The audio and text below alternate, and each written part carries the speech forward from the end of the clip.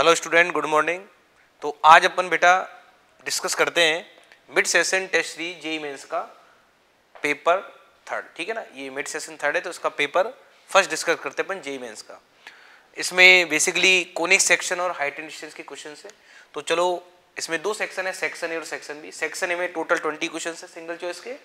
और section B में multiple section B में इंटीजर टाइप के फाइव क्वेश्चन है। ठीक है? जिसको सेक्शन डी नेम देते हैं अपन बेसिकली तो चलो अपन बात करते हैं सेक्शन ए का क्वेश्चन नंबर फ़र्स्ट देखो सेक्शन ए के क्वेश्चन नंबर फ़र्स्ट में क्या बोला गया है? If the ellipse X square upon A square minus seven plus Y square upon thirteen minus five equal to one scribe in a square of side length root two A then A is equal to देखो question का meaning क्या बोला गया है? ये जो ellipse आपको given है दिस इलिप्स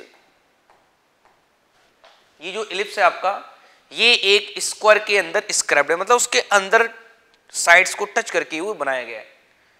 जिसकी साइड लेंथ क्या है? रूट टू ए तो आपको ए का इंटरवल क्या करना है? फाइंड आउट देखो कैसे किया गया क्वेश्चन को। थोड़ा समझने की ट्राई करना। जैसे लेट ऐसे समझो। फ़र्स्ट ऑफ़ ऑल आप क्या करो? स्क्वायर को ड्रॉ करो। सॉरी इलिप्स को। ये इलिप्स है। फिर बोला क्या गया? है ये जो एलिप्स है आपका, ये स्क्वायर के अंदर स्क्रैप्ड है। इसका मीनिंग, अब आप थोड़ा इसको लॉजिकली समझो। जब आप स्क्वायर ड्रॉ करोगे, देखो सर्किल के केस में क्या होगा? जैसे लेट ये सर्किल है, जिसका सेंटर ज़ीरो ज़ीरो है, ये रेडियस आर ये भी आर ये भी आर तो जब सर्किल सॉरी जब आप स्क्वायर को ड्रॉ करोगे, फिर तो वो इस टाइप से क्या करेगा? साइड्स को टच करेगा इन पॉइंट्स पे। बट अगर ये आपका इलिप्स है तो इलिप्स के केस में मेजर एक्सिस और माइनर एक्सिस की लेंथ क्या होगी? डिफरेंट होगी। तो आप इलिप्स को इस टाइप से टच नहीं करा सकते। ये इसका रॉन्ग डायग्राम है। तो इस केस में क्या होगा देखो, एक बार रफली समझो। इलिप्स इस टाइप से ऐसे मतलब इस टाइप से अपन डायग्राम थोड़ा ड्रॉ करेंगे। ये एंगल 90 पॉसिबल हो सकते हैं। तो देखो क्या किया गया, इसको ऐसे बनाया गया डायग्राम को। अपन को स्क्वायर को इस तरीके से इलिप्स के बाहर बनाना है, जिससे कि क्या हो ऑल साइड्स की लेंथ क्या होनी चाहिए सेम होनी चाहिए स्क्वायर में। तो देखो, ये इस टाइप से ड्रॉ करो साइड्स को टच कराओ आप, ठीक है? एक साइड को इधर से टच करा सकते हैं, एक को इधर से टच और एक को दिस पार्ट से टच ठीक है ना? तो इस टाइप से आप स्क्वायर को ड्रॉ करोगे। तो ये इस क्वेश्चन के अकॉर्डिंग डायग्राम हो गया। अब दोबारा सुनो क्वेश्चन क्या बोला गया था? कि a ellipse is scribed in a square of side length root two A then A is तो देखो कैसे करना है क्वेश्चन को। एक चीज़ पड़ी हुई है अपन ने। ये स्क्वायर है तो स्क्वायर की ये एंगल क्या होंगे? 90 अब अगर ये स्क्वायर के एंगल 90 है तो अपन ने एक डेफिनेशन पढ़ी थी डायरेक्ट सर्किल की। डायरेक्ट सर्किल का मीनिंग क्या था? कि किसी भी कर के पॉइंट पे परपेंडिकुलर टेंजेंट का जो लोकस है वो ऑलवेज क्या होगा, एक डायरेक्टर सर्किल तो कोई ये पूछे कि बताओ, इस एलिप्स का बताओ डायरेक्टर सर्किल तो बेटा, इस एलिप्स का जो डायरेक्टर सर्किल है वो इन ऑल फोर पॉइंट से क्या होगा पास होगा। क्यों? क्योंकि इन पॉइंट्स पे, इस पॉइंट्स के रिगार्डिंग ये दोनों जो साइड्स हैं, ये एलिप्स के लिए क्या टेंजेंट है। और ये बहुत tangents are perpendicular to each other इसका मीनिंग ये एंगल 90 है। तो जो इस एलिप्स का जो डायरेक्टर सर्किल है वो क्या होगा, इन पॉइंटों से पास होगा। तो फ़र्स्ट ऑफ़ ऑल क्या करते हैं अपन? इक्वेशन ऑफ़ डायरेक्ट सर्किल तो X square upon A square plus Y square upon V square equal to one इसके इक्वेशन ऑफ़ डायरेक्ट सर्किल क्या होगी? X square plus Y square equal to A square plus B square अब आप क्या करते हैं? Ellipse A square B square की value put करो। तो जैसे ही आप ए स्क्वायर बी स्क्वायर की वैल्यू पुट करोगे तो क्या होगा? स्क्वायर कर दो और क्या है? तो ए स्क्वायर माइनस फाइव है। ध्यान दो। A square minus five A plus six आ गया, ठीक है ना? ठीक है, ये अपने डायरेक्टर सर्किल की इक्वेशन है। अब देखो क्या बोला गया है स्क्वायर की जो साइड लेंथ है वो कितनी रूट टू है? तो स्क्वायर की साइड लेंथ रूट टू है तो ध्यान दो ब्लैक बोर्ड पे। ये डायरेक्टर सर्किल की रेडियस होगी रूट ऑफ़ दिस पार्ट तो ध्यान दो, जैसे लाइट ये पॉइंट ए ये लाइट पॉइंट बी है। तो ये ए बी क्या है? ये इस डायरेक्टर सर्किल का डायमीटर है। तो ए बी इस डायरेक्टर सर्किल का डायमीटर है और इस स्क्वायर की साइड लेंथ कितनी? रूट टू है। तो ये लेंथ क्या होगी? ए ये ए और दिस ए तो ये रूट टू होगी ना। इसका मतलब ए बी की लेंथ क्या होगी? टू ए इसको ओ मान लेते हैं। तो ये क्या है? डायरेक्टर सर्किल की रेडियस है। तो ओ ए और ओ बी तो ओ ए कितना आ गया बोलो? ए आ गया। तो O A square equal to A square मतलब अपन ने अल्टीमेटली किया क्या है? ये जो स्क्वायर है, इसके ऑल वर्टेक्स से क्या होगा? इस एलिप्स का डायरेक्टर सर्किल बेटा पास होगा। तो अपन first of all director circle की क्या लिखी इक्वेशन और डायरेक्टर सर्किल की जो रेडियस है, या इस डायरेक्टर सर्किल का जो डायमीटर है, वो ए बी डायगोनल की लेंथ की क्या होगा? इक्वल स्क्वायर के डायगोनल की लेंथ की क्या होगा? इक्वल तो आप क्या करोगे? तो ओ ए क्या होगा? रेडियस तो O A radius is A तो O A square equal to क्या गया स्क्वायर और दिस इज़ रेडियस का स्क्वायर। तो पुट कर दो इसको। तो क्या आ गया? A square minus five A plus six equal to A square A square से स्क्वायर तो ए आ गया सिक्स अपॉन फाइव तो बच्चे क्या करते हैं? फटाफट से जिसको इतना लॉजिक आता है तो वो बच्चे answer A equal to six upon five क्या कर देते टिक कर देते और उसमें देखो, ये ऑप्शन भी गिवन है six upon five first option but एक बात और सुनो ना, ये जो इक्वेशन गिवन है, ये अगर इलिप्स की इक्वेशन है तो इलिप्स की इक्वेशन में कंडीशन क्या होगी? This part is positive this part is also positive तो क्या होगा? A square minus seven is positive तो क्या जाएगा? मोड की वैल्यू रूट सेवन से ग्रेटर रूट सेवन का मतलब टू पॉइंट समथिंग बट ये वैल्यू वन पॉइंट समथिंग है, इसलिए इस ए की वैल्यू को सेलेक्ट नहीं करना है। तो इसका फोर्थ ऑप्शन टिक करोगे। नो सच ए एग्जिस्ट ठीक है? क्योंकि ए को सिक्स अपॉन फाइव लेट करोगे आप इस केस में, ये इलिप्स की इक्वेशन को रिप्रेजेंट नहीं करेगा। जब ए को अपन सिक्स अपन फाइव पुट करेंगे बेटा तो ये बन जाएगा आपका क्या? हाइपर बोला ठीक है? तो इसलिए रॉन्ग आंसर इसका। तो इसका फोर्थ ऑप्शन आपको टिक करना ठीक है? चलो। उसके बाद देखो नेक्स्ट क्वेश्चन ये ठीक क्वेश्चन था। हाँ सेकंड क्वेश्चन में क्या बोला गया if maximum distance of any point on the ellipse ये आपको एक एलिप्स की इक्वेशन गिवन है। तो क्या बोला गया इस एलिप्स पे कोई भी एक पॉइंट है आर्बिट्री पॉइंट उस पॉइंट की इट्स के सेंटर से डिस्टेंस आर है। दोबारा सुनो। If the maximum distance of any point on the ellipse of this part from its centre we are then R equal to तो देखो कैसे करना चाहिए क्वेश्चन को, सुनो। देखो, जैसे लेट क्वेश्चन ने ऑलरेडी बोल दिया कि ये एलिप्स की क्वेश्चन है। और चलो आप भी चेक कर सकते हो ना। अगर ये एलिप्स की क्वेश्चन है तो कंडीशन क्या होती है? H square minus A B की वैल्यू क्या होनी चाहिए? लेस देन ज़ीरो और वो आएगी इसमें। क्योंकि एच का मतलब एक्स वाई की कॉफिशियन का हाफ़ तो कितना है? One one square minus two into one is three हाँ तो ये ट्रू आ गया ना? इसका मतलब ये इलिप्स की क्वेश्चन के बने चलो, ये पता चल गया कि इलिप्स की क्वेश्चन है। अब क्या बोला गया? जैसे लेट ये इलिप्स है। इलिप्स इस इलिप्स पे कोई भी एक पॉइंट है पी इस पॉइंट की, इसका सेंटर मैंने ओ मान लिया रफली तो ये ओपी डिस्टेंस आर है। तो कह रहा है कि बताओ आर की मैक्सिमम पॉसिबल वैल्यू क्या हो सकती है? तो फ़र्स्ट ऑफ़ ऑल क्या करें आप क्वेश्चन में? ये जो इलिप्स की क्वेश्चन गिवन है, इसको सिंप्लीफाई करके ये बताओ कि इसका सेंटर क्या होगा बेसिकली उसके बाद देखते हैं। तो देखो, ये आप सबने पढ़ा होगा, जब भी आपको सेकंड डिग्री का कर्व गिवन हो, क्योंकि सेकंड डिग्री का कर्व है, वो पेयर ऑफ़ स्टेट लाइन की क्वेश्चन हो सकती है अगर डेल्टा उसका ज़ीरो है। और डेल्टा अगर उसका बाई चांस नॉन ज़ीरो है बेटा तो वो सर्किल इलिप्स पैराबोला हाइपरबोला की क्वेश्चन हो सकती है, ठीक है ना? तो चलो वो किसी की भी इक्वेशन हो। सेकंड डिग्री का आपको अगर जनरल कर्व गिवन है, और how to find their centre अगर डेल्टा उसका नॉन ज़ीरो है तो वो क्या होगा? या तो वो सर्किल होगा, या पैराबोला या एलिप्स या हाइपरबोला तो आपसे पूछेगा कि हाउ देयर फाइंड सेंटर तो जब भी आपको सेकंड डिग्री का कर्व गिवन हो, और आपको उस कर्व का क्या करना हो सेंटर फाइंड आउट तो अपन क्या करते हैं? पार्शियल डिफरेंशिएशन तो जो एक कर्व गिवन है, इसका वन टाइम तो क्या करोगे? एक्स के रेस्पेक्ट में डिफरेंशिएशन और वन टाइम करोगे वाई के रेस्पेक्ट में differentiation as X as a constant तो देखो क्या लिखोगे? Differentiation with respect to the X as Y is constant सुन लो फटाफट से। आप इसका x के रेस्पेक्ट में करो डिफरेंशिएशन y को कांस्टेंट लेट करते हुए। तो देखो, x स्क्वायर का क्या होगा? 2x y स्क्वायर का ज़ीरो हटाओ प्लस टू वाई तो कांस्टेंट है। X का वन आ गया इक्वल टू ज़ीरो तो इससे क्या आ गया? X plus Y equal to zero ये लो।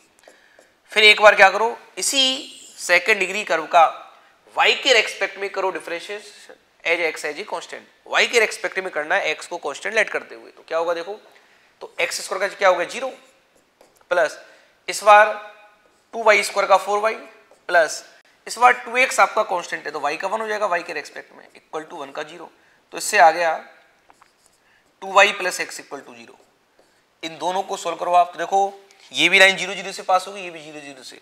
मतलब इन दोनों का जो इंटरसेक्शन पॉइंट है, वो क्या गया ज़ीरो ज़ीरो इसका मीनिंग क्या हुआ बोलो? ये जो आपको एलिप्स की क्वेश्चन गिवन है, इस एलिप्स का जो सेंटर वो क्या होगा ज़ीरो ज़ीरो होगा ठीक है? बट ये एलिप्स जो गिवन है, ये स्टैंडर्ड एलिप्स नहीं है, ये एक सेकंड डिग्री का कर्व है। ठीक है? तो अपन देखो इसका एक रफली डायग्राम ड्रॉ करते हैं। ये एलिप्स ऐसे मत बनाना। इसकी मेजर एक्सिस और minor axis are not x axis and y axis इसकी जो मेजर माइनर एक्सिस है, वो एक्स एक्सिस वाई एक्सिस नहीं है बट उसका सेंटर तो ज़ीरो ज़ीरो है ना तो एक काम करो, अपन को रफली डायग्राम बनाना ये इसका बन गया एक एलिप्स ठीक है? ये एलिप्स का क्या बोला गया? बोलो सेंटर ओ, ये एलिप्स का सेंटर आ गया ज़ीरो ज़ीरो अब क्या बोला गया? इस एलिप्स पे कोई भी एक आर्बिट्री पॉइंट पी है, इस पॉइंट पी की सेंटर से डिस्टेंस आर है तो बताओ आर की मैक्सिमम पॉसिबल वैल्यू क्या हो सकती है? तो देखो क्या थीम है इस क्वेश्चन को करने की, बहुत सिंपल सा ऑप्शन है। क्या करो? ये लाइट एक्स एक्सिस है आपकी। ये लाइट आपकी वाई एक्सिस है। तो एक काम करते हैं ना, आप ये लाइट करो कि लाइट इस ओपी सेगमेंट का एक्स के साथ एंगल थीटा है। और ये अगर ज़ीरो ज़ीरो है तो बेटा आप सबने पैरामेट्रिक फॉर्म पढ़ी होगी polar form sorry straight line में स्टार्टिंग में। ये एंगल थीटा है, ये डिस्टेंस आर है। तो ओपी की डिस्टेंस आ रहा है, ये एंगल थीटा है। तो आप पॉइंट पी के पोलर फॉर्म में कोऑर्डिनेट क्या लेट कर सकते हो? R cos theta comma r sine theta बस फिनिश हो गया क्वेश्चन ठीक है, आपने पॉइंट पी लेट क्या क्या लेट किया? R cos theta comma r sine theta तो ये पॉइंट पी आ गया। अब क्या करें? This point P lies on the ellipse ये पॉइंट पी क्या होगा? एलिप्स पे लाई करता है। Point P r cos theta comma r sine theta lies on an ellipse तो इसमें पुट कर दो तो क्या जाएगा?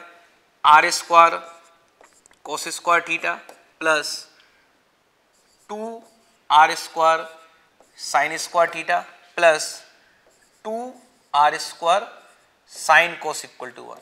देखो, इन सब में आर स्क्वायर तो कॉमन आ गया। तो ब्रैकेट में क्या रह गया? C square plus two s square plus two s c को लिख सकते हैं, साइन टू थीटा, ये लो। ठीक है, अब एक काम करना, आपको आर स्क्वायर की वैक्सीन वैल्यू चाहिए इसको डिवाइड में लेके जाओ ना, और देखो उसको थोड़ा सिंप्लीफाई कर दो पहले ही आप। Sine cos square, sine square तो वन आ गया। बचा कौन? एक साइन स्क्वायर थीटा। और साइन स्क्वायर थीटा को लिख सकते हैं one minus cos of two theta by two plus sine of two theta, ठीक है? अब देखो ये जो टेक्नोमेट्रिक का पार्ट है, इसकी रेंज आपको करनी है कैलकुलेट ठीक है ना? तो इसको रिमूव कर देते इधर से। तो इससे क्या आ गया देखो? टू एलसीएम लेके इसको सोल्व कर दो। टू एलसीएम लोगे तो टू इधर चला गया ना तो क्या रह गया? R square equal to two अपन सुनो, ये टू इससे मल्टीप्लाई टू और वन थ्री आ गया। और ये टू इससे मल्टीप्लाई तो क्या आ गया? Two sine two theta minus cos two theta plus two sine two theta minus cos two theta अब इतना आने के बाद देखो, आर स्क्वायर की क्या चाहिए? मैक्सिम वैल्यू तो आर ऑटोमेटिक मैक्सिम होगा। तो होल आर की मैक्सिम वैल्यू चाहिए तो क्या करोगे? इसकी range depends on this part तो इसकी कौन सी वैल्यू पुट करोगे? मैक्सिमम क्यों?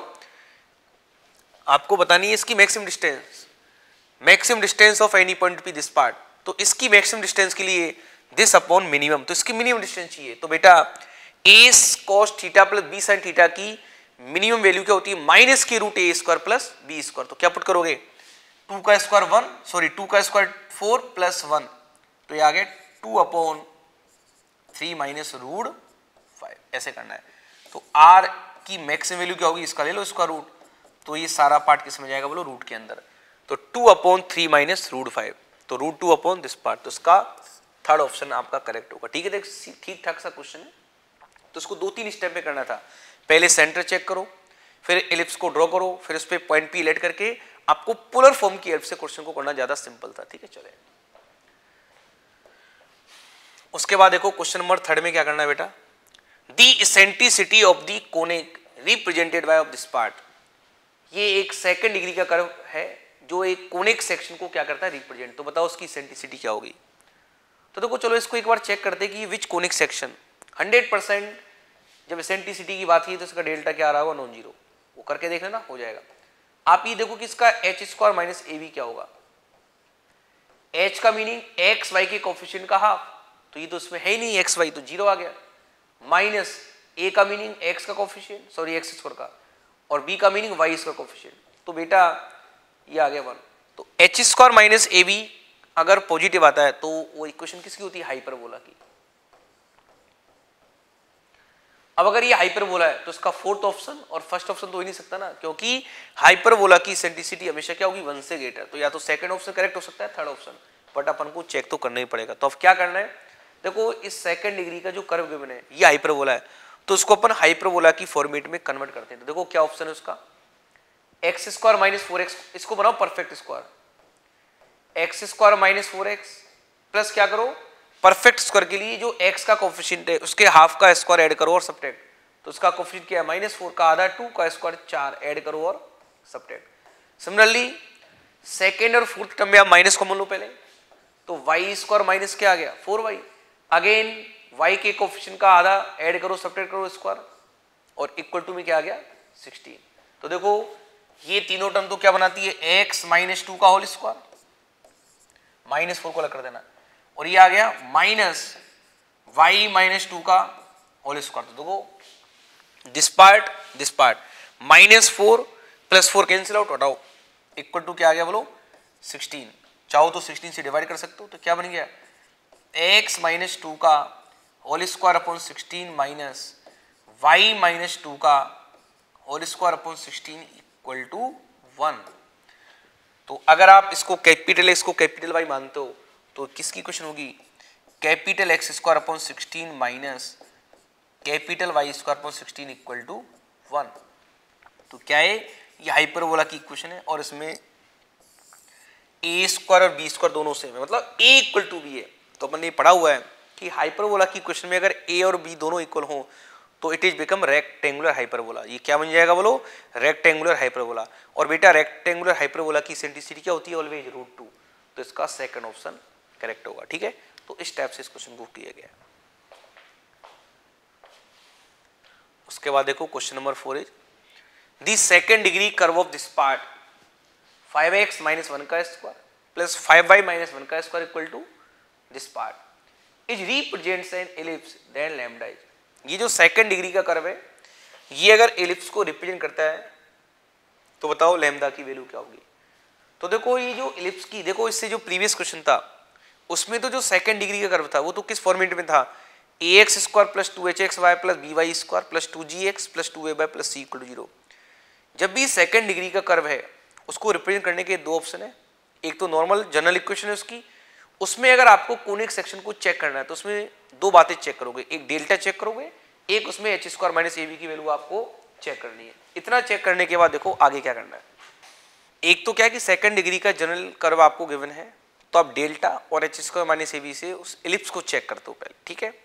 और एलिप्स या हाइपरबोला या अप टू पैराबोला को चेक करने के बाद उसको अपन स्टैंडर्ड फॉर्मेट में कन्वर्ट करते हैं, ठीक है? और अपने जो सिलेबस में है बेटा, वो स्टैंडर्ड हाइपरबोला एलिप्स और पैराबोला ही मेंशन है, ठीक है ना? जैसे अपने प्रीवियस क्वेश्चन में उसको प्रॉपर स्टैंडर्ड फॉर्मेट में क्या किया था? कन्वर्ट अदरवाइज़ सेकंड डिग्री की general equation will we not convert into standard ellipse parabola hyperbola तो उसको अपन सोल्व कर ही नहीं पाएँगे, ठीक है ना? वो है ही नहीं अपने सिलेबस के अंदर। तो एक तो ये बात ध्यान रखें। एक, आपके पास एलिप्स पैराबोला हाइपरबोला की जो इक्वेशन है उसको फाइंड आउट करने का एक सेकंड ऑप्शन है यूजिंग वाई डेफिनेशन तो अपन ने एक बात पढ़ी हुई है कि कोनिक सेक्शन की डेफिनेशन क्या है? कि एक ऐसे पॉइंट का लोकस जिसकी एक fixed point alpha comma beta से डिस्टेंस और पॉइंट की एक लाइन से परपेंडिकुलर डिस्टेंस का रेशियो क्या हो? कांस्टेंट हो. मतलब S P upon P M equal to constant उस कॉन्स्टेंट को बोलते हैं सेंटिसिटी तो ये कोनिक सेक्शन को रिप्रेजेंट करता है? तो क्या गए? इस पॉइंट को अगर आप एक्स वाई लेट करते हो पी एक्स कोमा वाई तो ये इक्वेशन क्या होगी देखो? एक्स माइनस अल्फ़ा का स्क्वायर प्लस लिख देते हैं चलो एक्स माइनस अल्फ़ा का square plus y minus beta का स्क्वायर इक्वल टू ई से मल्टीप्लाई कर दो इसको पीएम को। पीएम का मतलब इस लाइन को लेट कर दो आप l x plus m y plus n equal to zero. तो इस पॉइंट की लाइन से डिस्टेंस क्या होगी? लाइन को पुट कर दो। पॉइंट को पुट कर दो लाइन में। अपॉन रूट आएगा उस पर लगाते हैं भी रुको लेकिन जब इधर से रूट हटाओगे तो उस पर क्या लगा दो? होल स्क्वायर ये लो और ये आगे ई स्क्वायर तो ये आपकी कोनिक सेक्शन की सेकंड डेफिनेशन है। मतलब सेकंड रिप्रेजेंटेशन है इक्वेशन को लिखने का। तो ये जो इक्वेशन गिवन है, वो इसी फॉर्मेट को फॉलो करती है। तो उसको कन्वर्ट कर देते हैं। तो देखो फ़र्स्ट ऑफ़ ऑल एक्स का कॉफिशियन और वाई का कॉफिशियन वन होना चाहिए। तो फाइव कॉमन ले लो दोनों में से। तो क्या आ गया? ट्वेंटी फाइव बार आ गया। तो ट्वेंटी फाइव कॉमन लोगे तो ब्रैकेट में क्या आ गया? X minus one upon five का whole square plus y minus one upon five का whole square equal to lambda minus one का स्क्वायर हो गया। लिख देते हैं इसको। क्या क्या बोलो? लेमदा माइनस वन का स्क्वायर ठीक है, इसको हटा देते हैं।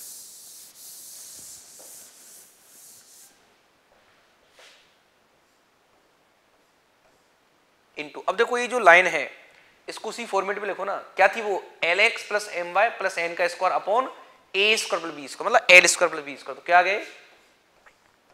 Three x plus four y minus one का square upon l square plus m square तो ये जाएगा ट्वेंटी फाइव तो ट्वेंटी फाइव से इसको मल्टीप्लाई डिवाइड करो। तो जब डिवाइड करोगे और मल्टीप्लाई करोगे तो मल्टीप्लाई वाला पार्ट इससे क्या होगा? कैंसिल आउट तो कौन सी फॉर्मेट में देखो? एक्स माइनस अल्फ़ा का square plus y minus beta का square equal to e square of this part मतलब ये इसकी इसेंटिसिटी है। तो ई स्क्वायर कितना आ गया?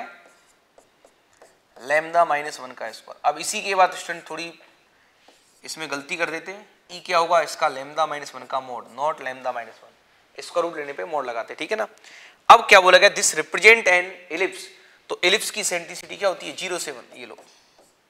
तो इसकी वैल्यू क्या होगी? ज़ीरो से ग्रेटर और वन से लेस तो क्या होगा? ये वैल्यू ज़ीरो से ग्रेटर तो हमेशा होगी ना but lambda not equal to one क्योंकि लेमदा को वन ले लोगे तो ज़ीरो बन जाएगा तो लेमदा वन हटा दो। तो क्या गए लेमदा माइनस वन का mod less than one mod x less than a है तो एक्स क्या होगा? माइनस ए से तो इसको सोल्व करने पे क्या आ गया बोलो? Lambda minus one is lies between minus one से प्लस वन माइनस वन इधर लोगे तो ज़ीरो आ गए और ये क्या आ गया बोलो? टू तो लेमडा की वैल्यू ज़ीरो से टू होगी वट उसमें वन को इंक्लूड नहीं करना है। तो देखो इसके अकॉर्डिंग इसका करेक्ट ऑप्शन होगा था नॉट फ़र्स्ट बच्चे फ़र्स्ट ऑप्शन टिक कर देते, ठीक है ना? तो इस टाइप से इस क्वेश्चन को सॉल्व करना है आपको। तो देखो, उसके बाद अपन आगे बढ़ते बेटा। उसके बाद देखो question number fifty the ellipse four x square plus nine y square equal to thirty six and the hyperbola of this part intersected right angle ये एलिप्स और ये हाइपरबोला एक दूसरे को राइट एंगल पे क्या करते intersect then the equation of the circle which passing through the intersection of of these curves उस सर्किल की कुछ बतानी है जो इन कर्व के इंटरसेक्शन पॉइंट से क्या होती है बोलो पास होते हैं। तो देखो फ़र्स्ट ऑफ़ ऑल तो इसमें करना क्या है? ये एलिप्स और हाइपरबोला आपके राइट एंगल पे कट करते हैं। तो उसकी हेल्प से अपन फ़र्स्ट ऑफ़ ऑल इसमें ए स्क्वायर की वैल्यू को फाइंड आउट करेंगे। मतलब ए की वैल्यू को फाइंड आउट तो ये एक प्रॉपर्टी इसको याद रखें, इसको डिराइव भी कर सकते हो आप। जब भी ये बोला जाए कि एक एलिप्स एक हाइपरबोला को राइट एंगल पे कट करता है तो then there foci are coincide कौन फकैल बोलते हैं उसको? ठीक है ना? एक एलिप्स अगर एक हाइपरबोला को क्या करता है बोलो? राइट एंगल पे intersect then there foci are coincide इसका मीनिंग इस एलिप्स की फुकाय को, इस हाइपरबोला की फुकाय के क्या कर दो? इक्वल तो ऑटोमेटिकली ए की वैल्यू फाइंड आउट हो जाएगी। तो देखो मैं आपको प्रोसीजर बता देता हूँ। इसको 36 से डिवाइड कर दो तो क्या आ गया? X square by nine plus y square upon four equal to one. तो इसकी फुकाय क्या होगी? Plus minus a comma zero, ये लो। ए तो थ्री है और एसेंटिसिटी का formula root of one minus b square upon a square तो ये जाएगा रूट फाइव बाई थ्री। तो a root five by three, a कितना? Three e. तो थ्री करने पे क्या जाएगा? Plus minus root five comma zero ये लो। ये आपकी एलिप्स की सेट की फुकाय है। फिर आप हाइपरबोला के लिए क्या करोगे? इसको भी स्टैंडर्ड फॉर्मेट में कन्वर्ट तो फोर से डिवाइड करो तो क्या आ गए एक्स स्क्वायर अपॉन फोर और अपॉन में ये ए स्क्वायर भी लगा दो, चलो। Minus y square upon four equal to one तो ये आपका हाइपरबोला है। तो हाइपरबोला की भी फुकाई क्या होगी बोलो again plus minus a comma zero इसकी सेंटिसिटी का फॉर्मूला क्या होगा? Root of one plus b square upon a square ठीक है ना? इसको लिख देना आप अपने अकॉर्डिंग तो फोर अपॉन दिस पार्ट तो क्या जाएगा ये? ए स्क्वायर आ गया, लो। ए की वैल्यू क्या होगी? टू अपॉन ए तो इसकी फुकाई क्या होगी? F equal to plus minus two upon a root of one plus a square इस वैल्यू को आप क्या करना? रूट फाइव की इक्वल कर देना। ठीक है एक्स कोनेट को एक्स कोनेट की इक्वल क्योंकि वाई कोनेट तो इसका क्या होगा ज़ीरो जैसे इसको करोगे आप तो बेटा आपको ए की वैल्यू मिलती है टू क्या जाएगा इससे? ए इक्वल टू और दिख रहा है वो देखो ना ए को टू लेने पे क्या आ गए रूट फाइव ये टू से two cancel out a two आ गया तो आपके पास हाइपर हाइपरबोला की एग्जैक्ट इक्वेशन फाइंड आउट हो चुकी है। अब देखो आगे क्या करना है। ठीक है तो ये प्रॉपर्टी याद रखें कि जब भी एक एलिप्स हाइपरबोला को राइट एंगल पे क्या करता है, कर then they are foci are coincide दोनों की फुकाय सेम होगी। तो आप एलिप्स की फुकाय को, जब हाइपरबोला की फुकाय के क्या करोगे? इक्वल तो ऑटोमेटिकली जो वेरिएबल है, उसकी वैल्यू फाइंड आउट हो जाएगी, ठीक है ना? तो ए के आगे से टू आफ्टर दैट देखो अब क्या करना है, इसको लिखते हैं एक बार। Four x square plus nine y square minus thirty six equal to zero ये आपका एक कर्व है s one hyperbola sorry ellipse second curve क्या है? ए अगेन टू है तो क्या आ गया है? फोर एक्स स्क्वायर ध्यान दो ब्लैक बोर्ड पे। Minus y square minus four equal to zero ये आपका सेकेंड कर्व है लेट एस टू अब क्वेश्चन में क्या बोला गया इन दोनों कर्व के इंटरसेक्शन पॉइंट से। जब आप इन दोनों के डायग्राम को प्रॉपर एक्स वाई प्लेन पे ड्रॉ करोगे बेटा तो ऐसे होगा। ये हाइपर इलिप्स और ये हाइपरबोला तो ये चार इसके इंटरसेक्शन पॉइंट है। इन ऑल फोर पॉइंट से कौन पास होता है? एक सर्किल और देखो, ये दोनों जो डायग्राम है ये कोऑर्डिनेट एक्सिस के अबाउट सिमेट्रिक है, ऐसे। अगर ये एक्सिस के अबाउट सिमेट्रिक है तो बेटा इन चारों पॉइंटों से जब सर्किल पास करोगे तो उसका सेंटर क्या होगा? ज़ीरो ज़ीरो ओनली आपको रेडियस चेक करनी है। तो उसके दो ऑप्शन है। एक ऑप्शन तो क्या है? इन दोनों कर्वों को सोल्व कर दो आप। देखो, ये दोनों कॉफ़ी सेम है ना? तो इसमें से इसको माइनस कर दो आप। तो सीधा वाई आ गया। वाई आ गया तो एक्स की वैल्यू तो ये पॉइंट मिल जाएगा। और ये जो डिस्टेंस है, क्या होगी? इसकी रेडियस तो जब इसको सोल्व करोगे तो ये रेडियस आती है रूट फाइव करके देख लेना घर पे आप। तो अगर ये डिस्टेंस रूट फाइव है आर रूट फाइव है तो इक्वेशन क्या होगी? X square plus y square equal to five क्योंकि इसका सेंटर ज़ीरो ज़ीरो है। एक ऑप्शन तो ये, आप क्या करो इंटरेस्ट पॉइंट को फाइंड आउट और देखो सेकंड ऑप्शन क्या ये भी बहुत अच्छा ऑप्शन है। ये आप सबने पढ़ा हुआ है। टू कर्व के इंटरसेक्शन से पास होने वाले कर्व की क्वेश्चन क्या होती है? Family of conic section s one plus lambda s two equal to zero क्या करना है? इन दोनों कर्व के इंटरसेक्शन से पास होने वाले कर्व की क्वेश्चन क्या होगी? S one plus lambda s two zero ऐसा नहीं है कि दोनों सर्किल होने चाहिए, वो कोई भी कर्व हो सकते हैं। तो इन दोनों कर्व की वैल्यू पुट कर देना इसमें। और पुट करने के बाद this curve represent the circle अगर ये कर्व क्या करता है? सर्किल को रिप्रेजेंट तो coefficient of X equal to coefficient of Y square आप क्या करोगे? एक्स स्क्वायर के कॉफिशियंट को वाई स्क्वायर के कॉफिशियंट के इक्वल कर देना। तो इक्वल करने के बाद इससे लेमदा की वैल्यू ऑटोमेटिकली जितना मेरे को पता है वो शायद वन आती है सॉरी क्या आती है बोलो? लेमडा की वैल्यू आपको वन फाइंड आउट हो जाएगी। तो इस टाइप से इस क्वेश्चन को सोल्व करना है। ठीक है ना? तो एक सिंपल सा क्वेश्चन है। तो कर सकते हो। तो मेरे अकॉर्डिंग ये भी एक अच्छा सा ऑप्शन है। ठीक है ना? फैमिली ऑफ़ सर्किल्स या फैमिली ऑफ़ कोनिक सेक्शन चलो। उसके बाद नेक्स्ट क्वेश्चन देखो। क्वेश्चन नंबर सिक्स में क्या करना बेटा? पढ़ो सभी। देखो क्वेश्चन नंबर सिक्स में बोला गया अपन से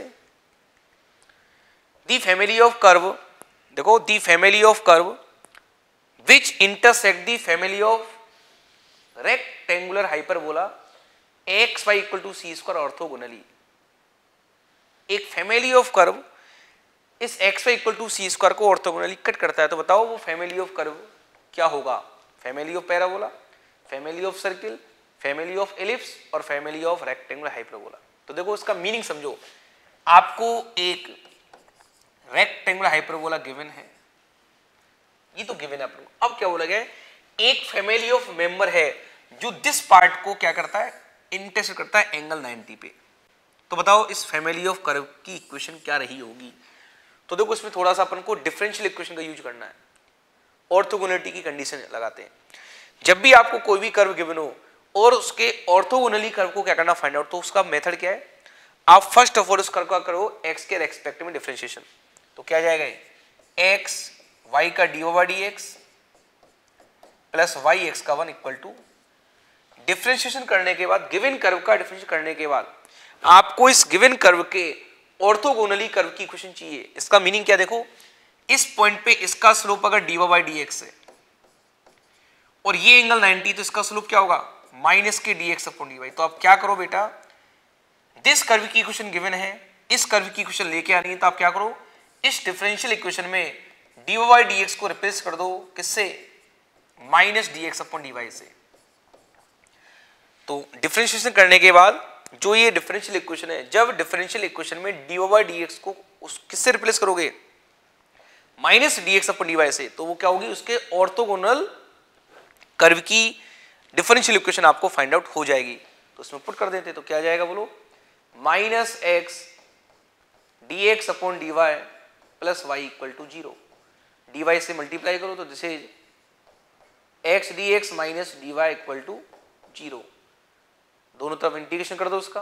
तो क्या आ गया है x square upon two minus y square upon two equal to c लगा दें। तो ये आ गया x square minus y square equal to two c तो ये क्या है? ये सी कुछ भी हो सकता है। तो ये रेक्टेंगुलर हाइपरबोला की इक्वेशन है। और एक बात सुनो, किसी के माइंड में ऐसा आ रहा होगा? हाँ इसमें लिख देना ऑलरेडी और ये x y equal to c square तो सी इसमें ज़ीरो हो नहीं सकता। अदरवाइज़ ये रेक्टेंगुलर हाइपरबोला नहीं होगा। ये इसमें अनरिस्टेड है कि सी इसमें ज़ीरो नहीं है। और सी ज़ीरो नहीं है तो इसको ज़ीरो ज़ीरो सेटिस्फाई नहीं करेगा, क्योंकि इसमें डाउट ही हो सकता है। कुछ बच्चे बोलेंगे, सर, एक काम करो ना सी को ज़ीरो मान लो इसमें। सी वन लिख दो उसको, ये लो। सी उसमें आ रहा तो। अगर सी वन को ज़ीरो माना तो ये क्या होगी? ये दो लाइन की इक्वेशन बन जाती है। ये टू लाइन्स की इक्वेशन क्या बनेगी? टू लाइन्स की इक्वेशन बन सकती है। तो इसका answer family of pair of state and भी बोल सकते हो आप। बट जब सी इसमें नॉन ज़ीरो है तो क्या होगी हमेशा x square minus y square equal to constant तो ये क्या है? ये एक रेक्टेंगुलर हाइपरबोला की इक्वेशन है, ठीक है ना? तो इस गिवन रेक्टेंगुलर हाइपरबोला के ऑर्थोगोनली जो कर्व है, वो भी क्या होगा? Rectangular hyperbola family of rectangular hyperbola तो इसका फोर्थ ऑप्शन करेक्ट है। तो इस टाइप से इस क्वेश्चन को करना है, ठीक है? चलो। उसके बाद देखो क्वेश्चन नंबर सेवन, पढ़ो उसको।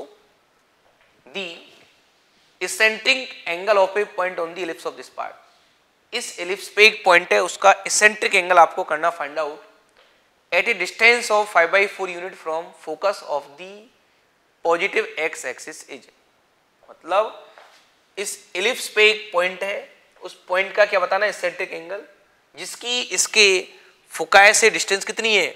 Five by four. बट वो जो फुकाय वो कौन सी है? पॉजिटिव एक्स एक्सिस वाली लेट करनी है आपको।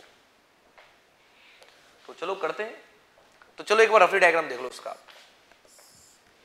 ये एलिप्स है, ये मेजर एक्सिस है फोर और ये माइनर एक्सिस है। तो ये आपने बना दिया, बोलो उसका एलिप्स एलिप्स ड्रॉ करने के बाद, अब देखो अपन को आगे करना क्या है? इस एलिप्स पे कोई भी एक पॉइंट पी है।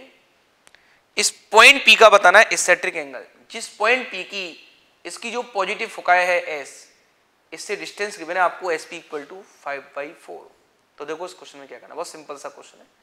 अब क्या करो? इस पॉइंट पी को लेट करो पैरामीट्रिक फॉर्म में। क्या? ए कॉस थीटा तो क्या जाएगा ये बोलो? Two cos theta comma b sine theta is root three sine theta ये पॉइंट पी आ गया। और फुकाय क्या होगी इसकी? ए कोमा ज़ीरो ए इसमें टू है। और एसेंट्रिसिटी का formula root of one minus b square upon तो ये वन बाई टू हो जाएगी। मतलब अल्टीमेटली वन कॉमा ज़ीरो आ गए लोग। पी पता है फोकस आपकी आ चुकी है वन ज़ीरो तो एस पी डिस्टेंस क्या होगी? Two cos theta minus one का square two cos theta minus one का square plus this minus zero का स्क्वायर तो three sine square theta equal to twenty five by sixteen अब क्या करना सुनो?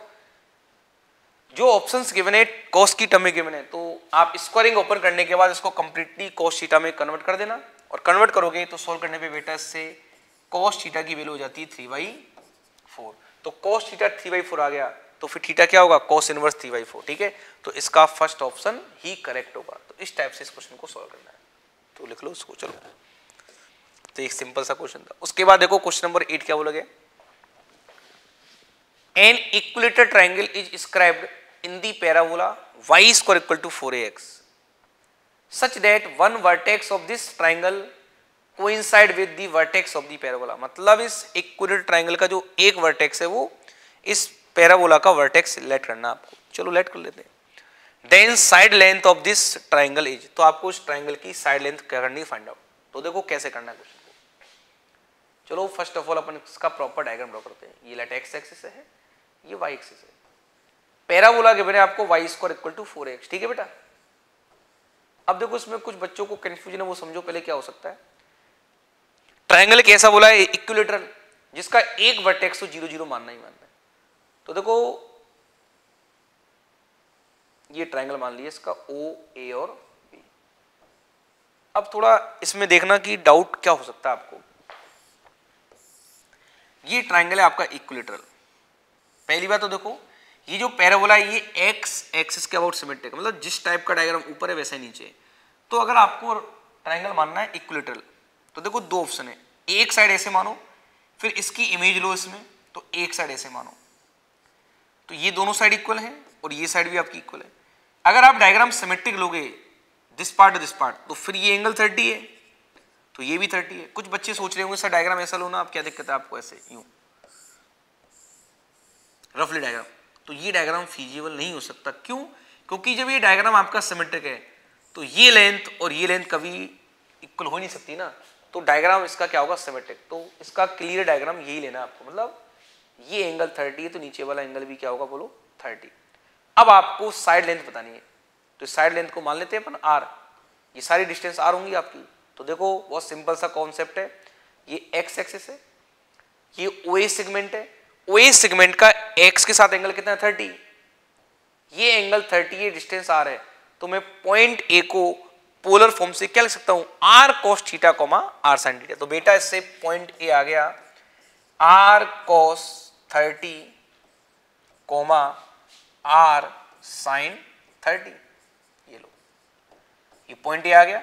और point A lies on this parabola जैसे आप इस पॉइंट ए को पैराबोला में पुट करोगे तो आंसर आ जाएगा। अपन को आर ही तो बताना है। तो इस पॉइंट ए को पुट कर देना तो आर की वैल्यू फाइंड आउट हो जाएगी। तो जैसे इसको सोल्व करो तो आपका फोर्थ ऑप्शन आ जाएगा। एट ए रूड थ्री तो इसमें पोलर फॉर्म की हेल्प से करना ज़्यादा सिंपल है। और भी ऑप्शन है। अब क्या करो, इस पॉइंट ए को मान लो पैरामीट्रिक फॉर्म में a t one square comma two a t one let करो। लेट करने के बाद ये डिस्टेंस आ चुकी है अपने पास। वाई एक्सिस ये एक्स कोऑर्डिनेट होगा उसका टेन थर्टी की वैल्यू लगा देना तो उसकी हेल्प से भी अपन टी वन की वैल्यू फाइंड आउट कर देंगे। टी वन आ जाएगा तो डिस्टेंस फॉर्मूले से वो डिस्टेंस फाइंड आउट कर सकते हैं, ठीक है? तो काफ़ी सारे ऑप्शन है इसके। बट ये बेटर ऑप्शन है पोलर फॉर्म उसके बाद देखो question number nine the length of the shortest normal chord of the parabola y square to four a x is ये एक रेगुलर क्वेश्चन है, और इसका आंसर आपको पता होना चाहिए अदरवाइज़ बहुत लेंथी क्वेश्चन है, ठीक है? ध्यान रखें। क्या बोला गया y square equal to four x जो पैराबोला है, इसकी जो नॉर्मल कोड है, उसकी मिनिमम लेंथ क्या हो सकती है? समझो पहले क्वेश्चन को। ये लेट एक parabola y square equal to four x ये इसकी लेट एक कॉर्ड है, और क्वेश्चन बोला गया this is a normal chord normal chord का मीनिंग ये इस पॉइंट पे, ये पॉइंट पी लेट कर लेते हैं, ये इसका पॉइंट क्यू है। ये नॉर्मल कोड है, इसका मतलब ये एंगल 90 होगा। तो ये एज ए नॉर्मल मानो आप इसको। ये नॉर्मल का मतलब नॉर्मल कोड बोल सकते हैं। तो ये नॉर्मल कोड तो पहली बात तो पैराबोला में नॉर्मल का कंसेप्ट क्या है? कि लेट ये पॉइंट आपका टी है। मतलब a t one square comma two a t one और नॉर्मल पॉइंट पी पे नॉर्मल अगेन पैराबोला को पॉइंट क्यू पे कट करता है, इसको टी टू बोल देते हैं। तो अपन ने एक रिलेशन पढ़ा हुआ है। T two equal to minus t one minus two upon t one this is remember this इसको याद रखें। कि वन पॉइंट पे नॉर्मल अगेन पैराबोला को टी टू पॉइंट पे मीट करता है तो then t t equal to minus t one minus के टू अपॉन टी वन एक तो ये बात, वाली याद लाइन याद रखें। इसके बाद आपको पी क्यू की जो लेंथ है तो जब आप इन पॉइंट्स को लेट करोगे a t one square comma two a t one a t two square comma two a t two तो आप डिस्टेंस फाइंड आउट कर दोगे इसकी रूट ऑफ़ दिस पार्ट ये डिस्टेंस फाइंड आउट करने के बाद क्या होगा? रूट हटाने के लिए इसको एक काम करना स्क्वायरिंग कर देना। स्क्वायरिंग करने के बाद उस डिस्टेंस को मान लेना जेड ये जो भी होगी a t one minus a t one square minus a t two square का whole square plus two a t one minus two a t two का होल स्क्वायर इसको मिनिमाइज करना है। क्या करना बोलो? मिनिमाइज तो उसमें दो वेरिएबल है टी वन टी टू तो आप एक काम करोगे, इससे टी टू की वैल्यू इसके अंदर पुट कर देना। टी टू की वैल्यू पुट करने के बाद इस जेड का आप टी वन के रेस्पेक्ट में करोगे डिफ्रेंशिएशन क्या करोगे? टी वन के रेस्पेक्ट में डिफ्रेंशिएशन जैसे आप डिफ्रेंशिएट करोगे तो आप उसकी हेल्प से टी वन की वैल्यू फाइंड आउट कर सकते हो, जिससे ये जेड क्या होगा मिनिमम तो याद रखें कि किसी पॉइंट पे नॉर्मल अगर अगेन पॉइंट क्यू पे मीट करता है तो ये रिलेशन और उसके बाद इस पी क्यू जो कॉर्ड है, इसकी लेंथ अगर मिनिमम है तो बेटा टी वन की वैल्यू हमेशा रूट टू आती है। Plus minus root two t one की वैल्यू क्या आती है? सॉरी रूट टू आती है। क्या आती है? टी वन की value root two t one root two आ गया। तो टी वन की वैल्यू पुट करने से टी टू आपको मिल जाएगा माइनस के टू रूट टू ठीक है? याद रखें कि शॉर्टेस्ट याद करो कि शॉर्टेस्ट नॉर्मल कोड के लिए टी वन हमेशा रूट टू होता है बेटा। शॉर्टेस्ट नॉर्मल कोड के लिए टी वन हमेशा क्या होगा? बोलो रूट टू तो टी वन रूट टू आ गया। तो टी टू कितना मिल जाएगा इसको पुट करने पे? माइनस के टू रूट टू ये लो। तो पॉइंट पी क्यू आ गया। तो डिस्टेंस फॉर्मूले से पी क्यू डिस्टेंस को फाइंड आउट कर सकते हो। तो जैसे ही आप इसको कैलकुलेट करोगे बेटा तो इसका थर्ड ऑप्शन आंसर आ जाएगा, ठीक है? तो इस टाइप से इस क्वेश्चन को सोल्व करना है। तो एक ठीक ठाक सा क्वेश्चन है। तो इसको रिमेंबर दिस ये प्रॉपर्टीज़ इनको याद रखें आप। उसके बाद देखो क्वेश्चन नंबर टेन थे इज़ हाँ ये ठीक ठाक सा क्वेश्चन है। पढ़ो उसको एक बार क्या बोला गया the adjacency figure a parabola drawn to passing through the vertex is B C and D एक पैराबोला गिवन है डायग्राम में, जो B C B C D point से पास होता है और ए पॉइंट आपका दिस पार्ट है। Then focus of this parabola is इस पैराबोला का फोकस बताना है। और कंसेप्ट हाँ और मुद्दे की बात क्या है? ये जो ए बी सी डी है, ये क्या है स्क्वायर बोला गया है। तो देखो कैसे करते हैं इस क्वेश्चन को, समझो एक बार। पॉइंट जो गिवन है पॉइंट ए आपको गिवन है टू कोमा वन और ये पॉइंट सी गिवन है टू कोमा थ्री देखो, ये ए सी इसका डायगोनल है स्क्वायर का, और ये भी इसका, क्या बोलो डायगोनल पहले रफली समझते हैं। तो देखो ये जो ए सी लाइन है, इस ए सी लाइन का स्लोप देखो कितना है। ये ए सी लाइन आपकी क्या parallel to the y axis क्योंकि एक्स कोऑर्डिनेट इसका सेम है ना। एक्स कोऑर्डिनेट इसका सेम है तो ए सी क्या होगा? Parallel to the y axis इसका मतलब क्या हुआ? ये जो पैराबोला है, इसकी जो एक्सिस है, वो क्या parallel to the y axis है। ऐसे। ये पैराबोला ऐसे बना दिया मैंने रफली इस पैराबोला की जो एक्सिस है, वो क्या parallel to the y axis तो ये पैराबोला का क्या होगा? वर्टेक्स हो गया सी टू कोमा थ्री अगर ये पैराबोला का वर्टेक्स है, और ये पैराबोला क्या? Downward parabola. तो आप क्या लेट करते हैं? पैराबोला की क्वेश्चन क्या होगी? लेफ़्ट वर्ड राइट वर्ड में तो मानते हैं y square equal to four x और अपवर्ड और डाउनवर्ड में क्या मानते हैं? X square equal to four a y what x की जगह क्या मानोगे? एक्स माइनस टू और वाई की जगह वाई माइनस थ्री क्योंकि अगर ओरिजिन है वर्टेक्स फिर तो मानते y square equal to four x और x square equal to four a y और अगर वर्टेक्स को आपने अल्फ़ा बीटा पे शिफ्ट कर दिया तो आप एक्स को एक्स माइनस अल्फ़ा और वाई को वाई माइनस बीटा लेट करोगे शिफ्टिंग ऑफ़ ओरिजिन की हेल्प से। तो क्या होगा कि let equation of parabola is क्या? बोलो, x माइनस टू का whole square equal to lambda मान लो फोर ए मान लो no problem into x minus three का होल स्क्वायर ये आपका आ गया पैराबोला अब फ़र्स्ट ऑफ़ ऑल तो आप सॉरी ये वाई है। फ़र्स्ट ऑफ़ ऑल तो अपन लेमदा की वैल्यू फाइंड आउट करते हैं। तो देखो उसके लिए क्या कंसेप्ट है। ध्यान दो अगेन ब्लैक बोर्ड पे। ये अगर स्क्वायर है तो इसका मिड पॉइंट होगा। तो मिड पॉइंट क्या जाएगा? टू कोमा टू अब देखो ये जो एसी की लेंथ है, ये क्या होगी? इस डायगोनल की लेंथ और उसकी लेंथ भी सेम होगी। तो ये थ्री ए वन है। तो ये लेंथ टू है। तो ये वन ये वन ये सारे के सारे वन है। तो एक बात बताओ, ये पॉइंट है आपका टू कोमा टू और ये डिस्टेंस वन है। ऐसे समझो। ये पॉइंट तो था सी ये था आपका ए और ये इसका मिड पॉइंट आ गया टू कोमा टू और ये इसका सेकेंड डायगोनल है आपका। ये डिस्टेंस वन है तो फिर ये पॉइंट कितना जाएगा? वन कोमा टू अरे यार, इसका वाई कोऑर्डिनेट तो हमेशा टू होगा। ये डिस्टेंस वन कम कर दो ना तो वन कोमा टू आ गया। इसका मीनिंग पॉइंट बी आ गया आपके पास वन कोमा टू और ये जो पैराबोला है, ये पॉइंट बी से क्या होगा? पास तो इस इक्वेशन को आप क्या करना? वन कोमा टू से करा देना पास जैसे ही वन कोमा टू पुट करोगे तो कितना आ गया देखो एक बार। One minus two minus one का square is one equal to lambda sorry square हटा दो उस पर से। Two minus one minus lambda आ गया माइनस के वन, ये लो। तो आपके पास पैराबोला क्या आ गया एग्जैक्टली एक्स माइनस टू का whole square equal to minus one y minus three ठीक है, अब इसकी फुकाई चाहिए। तो इसको एक काम करो, ऐसे मान लो ना x square equal to minus के फोर ए वाई तो x square equal to minus के फोर वाई इसका डायग्राम कैसे होता है ऐसे? तो इसकी फुकाई क्या होगी? ज़ीरो कोमा माइनस ए तो इसकी फुकाई आ चुकी है zero comma minus a zero का मतलब कैपिटल एक्स ज़ीरो है और कैपिटल वाई कितना? माइनस ए ए की वैल्यू कितनी है? Four a equal to one तो ए आ गया वन बाई फोर ये लो। कैपिटल एक्स को क्या लिखोगे? एक्स माइनस टू तो एक्स तो आ जाएगा इसका टू और कैपिटल वाई क्या होगा? वाई माइनस थ्री तो वाई आ गया three minus one by four three minus one by four क्या जाएगा, इलेवन बाई फोर। तो इसका फोकस आ गया two comma eleven by four. है क्या ऐसा कोई option two comma eleven by four हाँ। तो इसका देखो सेकेंड ऑप्शन करेक्ट होगा। ठीक है, देख सिंपल सा क्वेश्चन था। दोबारा सुनो क्या किया? ये पॉइंट गिवन है, ये पॉइंट गिवन है। ये लाइन क्या है? Parallel to the y axis तो इसका ये वर्टेक्स आ गया। वर्टेक्स पता है, ये डायग्राम डाउनवर्ड पैराबोला है। तो इसकी क्वेश्चन क्या होगी? पैराबोला लेट कर सकते हो, x माइनस थ्री का square sorry x minus two का square equal to lambda times of y minus three का, y माइनस थ्री उसके बाद अपन को लेमदा की वैल्यू चाहिए तो अपन ने ये पॉइंट फाइंड आउट किया। ये लेंथ वन है तो ये वन कम कर दो x में से तो पॉइंट बी आ गया वन कोमा टू इस पॉइंट को आपने जब पैराबोला में पुट किया तो लेमदा की वैल्यू आ चुकी है माइनस वन जब पैराबोला आ गया तो अपन उसका फोका इजीली फाइंड आउट कर सकते चलो, उसके बाद देखते हैं क्वेश्चन नंबर इलेवन देखो क्वेश्चन नंबर इलेवन में क्या बोला गया from a point Q on the circle x square y square equal to a square perpendicular Q M are drawn to the x axis find the locus of point P divides Q M in ratio two ratio one तो चलो एक बार इसका proper diagram बनाते हैं x y plane पे। देखो। ये Y axis है, ये लेट एक्स एक्सिस है आपकी, ठीक है?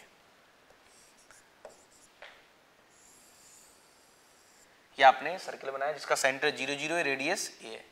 अब क्या बोला गया इस पे एक पॉइंट लेट करना है आपको क्यू इस पॉइंट क्यू से आपने इस पर ड्रॉ किया परपेंडिकुलर, जिसको पॉइंट एम पे मीट करता है, ठीक है ना? Find the locus of point P इस क्यू एम पे एक पॉइंट पी है, जिसका क्या बताना? लोकस तो उसको क्या मानते हैं एच के जो क्यू एम को टू रेशियो वन में क्या करता है? डिवाइड ध्यान रखें divide P divide Q M तो क्यू के साथ रेशियो टू मानना है एम के साथ रेशियो वन तो बताओ एच पॉइंट पी का लोकस तो लोकस के लिए क्या करें? पॉइंट पी एच को मैं किया। अब आपको एच के और कॉन्स्टेंट में लेके आना रिलेशन तो देखो देखो पॉइंट एम और क्यू फाइंड आउट करो पहले। तो एक काम करते हैं, इस सर्किल पे एक पैरामेट्रिक फॉर्म में पॉइंट क्यू लेट किया मैंने। क्या लेट करते हैं? A cos r cos theta comma r sin theta तो इसकी रेडियस ए है ना? कोमा ये अपन ने पॉइंट क्यू लेट किया। पॉइंट क्यूलेट किया। पॉइंट एम कितना होगा? A cos theta comma zero ये आ गया। A cos theta comma zero इस पॉइंट पी का जो एक्स कोऑर्डिनेट है एच वो तो क्या होगा? ये भी ए कोस थीटा होगा। केवल चेंज किसमें होगा? वाई कोऑर्डिनेट में। क्यों? क्योंकि वाई कोऑर्डिनेट क्या होगा? टू रेशियो वन में। तो टू को ज़ीरो से मल्टीप्लाई वन को ए साइन थीटा से मल्टीप्लाई तो क्या आ गया? के इक्वल टू बोलो। अरे m x two plus n x one तो m zero one this part तो क्या आ गया?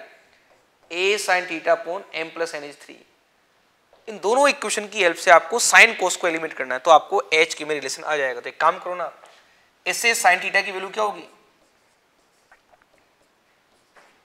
Three k upon a three k upon a आने के बाद, इससे आ गया cos theta equal to h upon a अब क्या करो? इन दोनों इक्वेशनों को स्क्वायरिंग करके आप ऐड करो। तो जैसे ही आप दोनों इक्वेशनों को स्क्वायरिंग करके ऐड करोगे तो क्या आ गया? Nine x square upon a square plus y square upon a square equal to one तो इसका बेटा फ़र्स्ट ऑप्शन करेक्ट होगा। देखो क्वेश्चन नंबर ट्वेल्व में क्या करना ठीक क्वेश्चन है ये भी।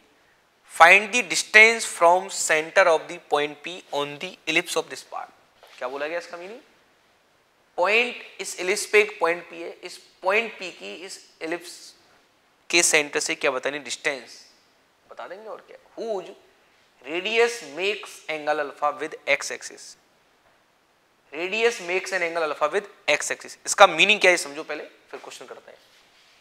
देखो एलिप्स तो आपको गिवन है। X square upon a square plus y square upon b square equal to one अब देखो, इसमें अल्टीमेटली बोला क्या गया ये एलिप्स है आपका, ठीक है? इस एलिस पे कोई भी एक पॉइंट पी है। और ये लाइट इसका ओरिजिन है। तो इसमें जो लाइन बोली गई है कि एलिप्स पे जो पॉइंट है, वो सेंटर के साथ, एक minute sorry whose radius makes an angle alpha इसमें रेडियस मेक्स एन अल्फ़ा का मीनिंग क्या है? ध्यान रखें सर्किल में रेडियस सभी जानते हो आप। सर्किल में तो रेडियस का मीनिंग क्या होगा?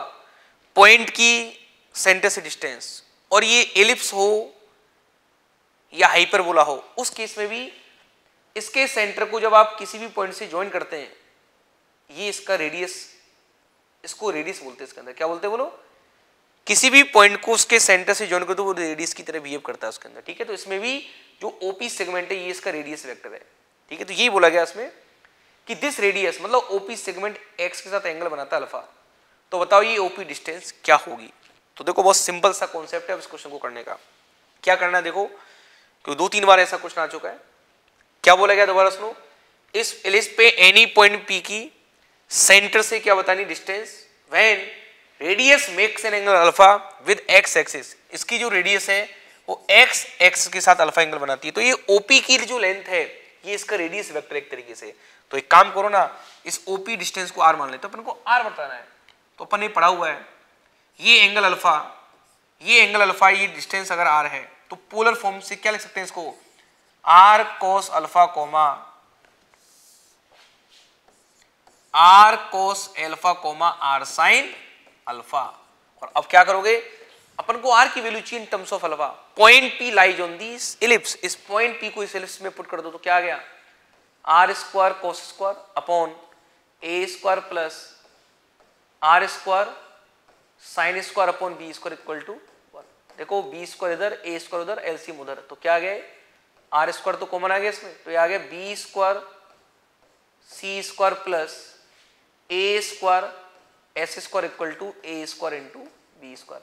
जैसे ही आप इसका स्क्वायर रूट लोगे तो क्या आ गया बोलो? R equal to a square, b square का स्क्वायर रूट ए भी आ गया। अपोन में आ गया रूट ऑफ़ कितना? A square sin square alpha plus b square cos square alpha बस। ये इसकी डिस्टेंस होगी, ठीक है? तो ओपी डिस्टेंस आ चुकी है ए बी अपॉन तो देखो इसके according a square sin square alpha plus b square cos square alpha तो बेटा, इसका फ़र्स्ट ऑप्शन करेक्ट होगा। तो इस टाइप से इस क्वेश्चन को किया गया है। तो इस पोलर फॉर्म को ढंग से पढ़े आप। ये बहुत यूजफुल पार्ट है इसका, ठीक चलो। उसके बाद देखो next question question number thirteen is find the locus of foot of the perpendicular drawn from centre to any tangent to list of this part क्या मीनिंग है क्वेश्चन का? Find the locus of foot of the perpendicular drawn from centre to any tangent to the of this part इस ellipse के centre से, ये ellipse कैसा है? Standard तो स्टैंडर्ड एलिप्स का सेंटर क्या होगा? ज़ीरो ज़ीरो तो सेंटर ज़ीरो ज़ीरो से, जब आप इस एलिप्स की किसी भी टेंजेंट पे क्या ड्रॉ करोगे? फ़ोटो परपेंडिकुलर तो उस फ़ोटो परपेंडिकुलर एच कोमा के का क्या बताना लोकस तो देखो कैसे करना चाहिए।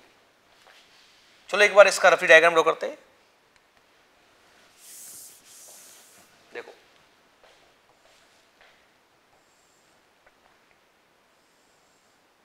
ये लेट इलिप्स है।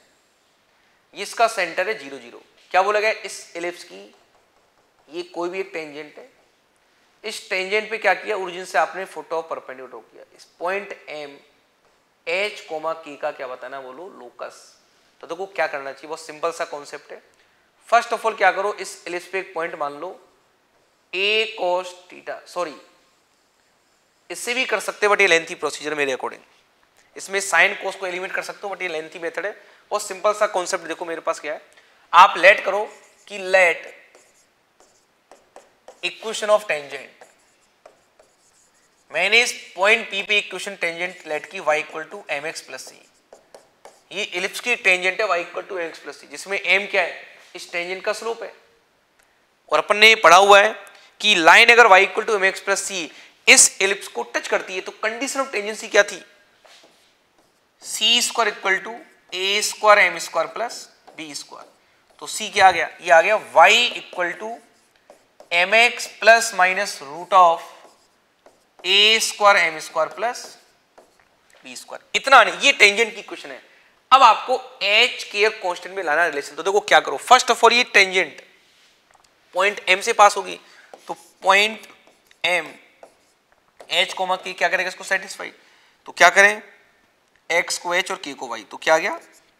K equal to m h plus minus root of a square m square plus b square इतना आने के बाद अब देखो, आपको एच के और कॉन्स्टेंट में रिलेशन फाइंड आउट करना है। तो इसमें वेरिएबल कौन बचा? ओनली एम इस एम की वैल्यू पुट कर दो तो आंसर आ जाएगा। तो देखो एम क्या है? इस टेंजेंट का स्लोप तो अपन एक काम करते हैं पॉइंट एम एच के है, ये ज़ीरो ज़ीरो है तो ओ एम का स्लोप क्या होगा? स्लोप ऑफ़ ऐसे देते हैं slope of O M y two minus five one upon x two minus x one तो क्या आ गया? H minus zero upon k minus zero k minus zero upon h minus zero इसका slope k upon h है, इसका slope M है तो ये लाइन इसके परपेंडिकुलर है। तो परपेंडिकुलर लाइन का स्लोप हमेशा क्या होगा? उल्टा और नेगेटिव तो क्या आ गया? M one m two minus one तो k upon h into m minus one करोगे। तो इससे एम कितना जाएगा बोलो? माइनस के एच अपॉन के इस एम की वैल्यू को इधर पुट कर देना। पुट करने के बाद इस एम को ले आना लेफ़्ट में। तो ये क्या आ गया? माइनस एच अपॉन के तो क्या आ गया? एच स्क्वायर अपॉन के तो ये आ गया k plus h square upon k equal to root of this part put करने के बाद इसकी बहुत साइड क्या कर देना स्क्वायरिंग तो आपका आंसर आ जाएगा, ठीक है? और इसको जब सोल्व करते हैं तो बेटा इसका फोर्थ ऑप्शन मैच कर जाएगा। तो इस टाइप से इस क्वेश्चन को सोल्व करना है। तो एक ठीक ठाक सा क्वेश्चन है। ठीक है, चलो। ठीक है तो ये बहुत सिंपल मेथड है।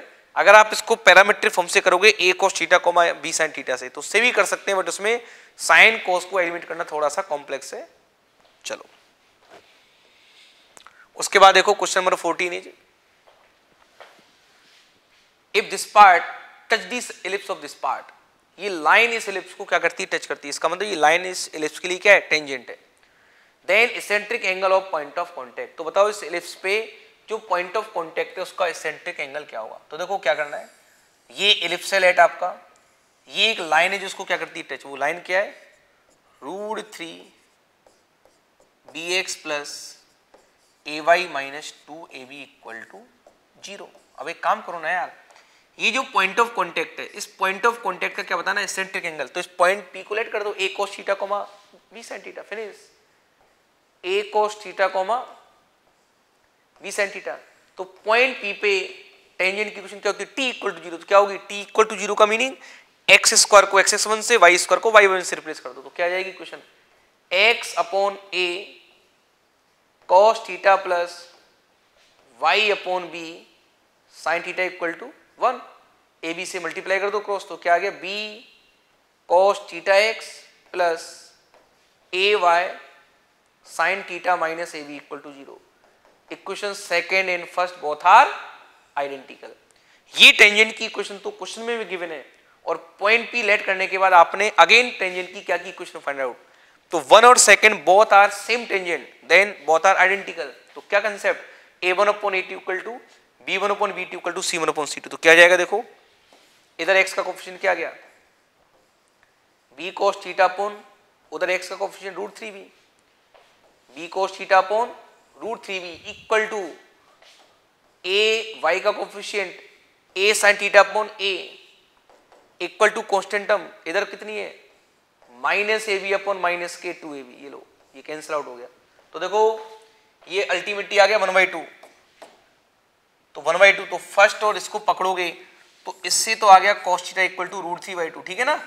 और बच्चों ए से ही कैंसिल तो इससे आ गया sin theta equal to half दोनों पे ध्यान दें।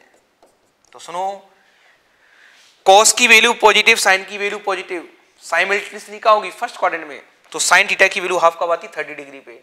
साइन थीटा हाफ़ थर्टी पे होगा तो कॉस थर्टी भी रूट थ्री बाई टू तो इसका थीटा क्या जाना चाहिए? थर्टी डिग्री थर्टी का मीनिंग पाई बाई सिक्स तो इसका फ़र्स्ट ऑप्शन तो एक सिंपल सा क्वेश्चन है तो चलो। उसके बाद देखो question number fifteen is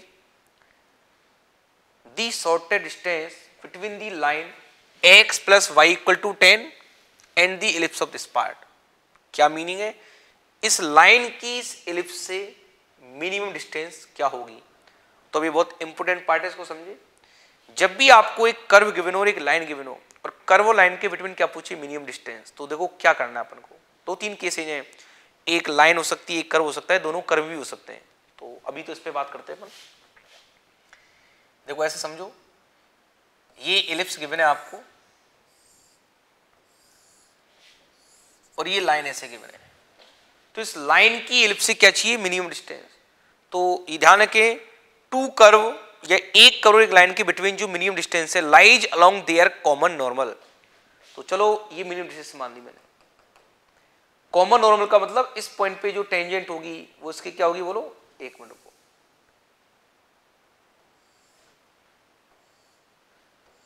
ऐसे। ये इसकी कॉमन नॉर्मल है। तो इस पॉइंट को पी मान लेते हैं। इसको एम तो आपको पीएम डिस्टेंस करनी कैलकुलेट इसकी क्वेश्चन क्या है? X plus y minus ten equal to zero तो पीएम डिस्टेंस को देखो कैसे कैलकुलेट करोगे। एक बार बताओ, आप उनको कैसे भी करके अगर इस पॉइंट पी के क्या मिल जाए कोऑर्डिनेट तो पॉइंट की लाइन से डिस्टेंस का फॉर्मूला लगा दो। तो पॉइंट पी लाना है को तो क्या करो? इस गिवन एलिप्स पे आप पॉइंट पी लेट करो। Four cos theta comma three sine theta कर लिया लेट करने के बाद क्या लिखोगे? Equation of tangent T equal to zero क्या जाएगी? X upon a cos theta plus y upon b sine theta equal to one इतना आने के बाद इस टेंजेंट का जो स्लोप है सिंपल सा फंडा, इस पॉइंट पे टेंजेंट और ये लाइन बहुत are parallel to each other तो इसका स्लोप कितना? माइनस के वन तो इसका स्लोप इसके स्लोप के क्या कर दो? इक्वल तो इसका स्लोप क्या होगा? माइनस एक्स का cos upon four upon sine upon three equal to minus के वन। तो ये आ गया, माइनस से माइनस चला गया cos upon sine three by four. तो इससे आ गया अल्टीमेटली कितना? टेन थीटा आ गया बेटा थ्री बाई फोर। दोबारा सुनो। Sine upon cos four by three आएगा। क्या आएगा बोलो? Four by three. Tan theta four by three आ गया। ये लो, ये फोर है, ये थ्री है, ये थीटा है। तो ये फाइव आ गया ना। तो अपने पास पॉइंट पी आ गया और क्या? ठीक है? कॉस थीटा की वैल्यू थ्री बाई फाइव तो ये आ गया ट्वेल्व बाई फाइव तो पॉइंट पी आ गया twelve by five comma twelve by five point आ गया, ये लाइन पता है. तो पीएम डिस्टेंस क्या होगी? लाइन में पॉइंट पुट करो तो बारह बाई फाइव बारह बाई फाइव चौबीस बटे पाँच माइनस दस का मोड अपॉन रूड टू तो इस टाइप से इस क्वेश्चन को सोल्व करना आपको. ठीक है तो इजी वे में सोल्व कर सकते हो. लिख लो और क्या। तो इसको सोल्व करने पे इसका फोर्थ ऑप्शन मैच कर जाएगा आपका।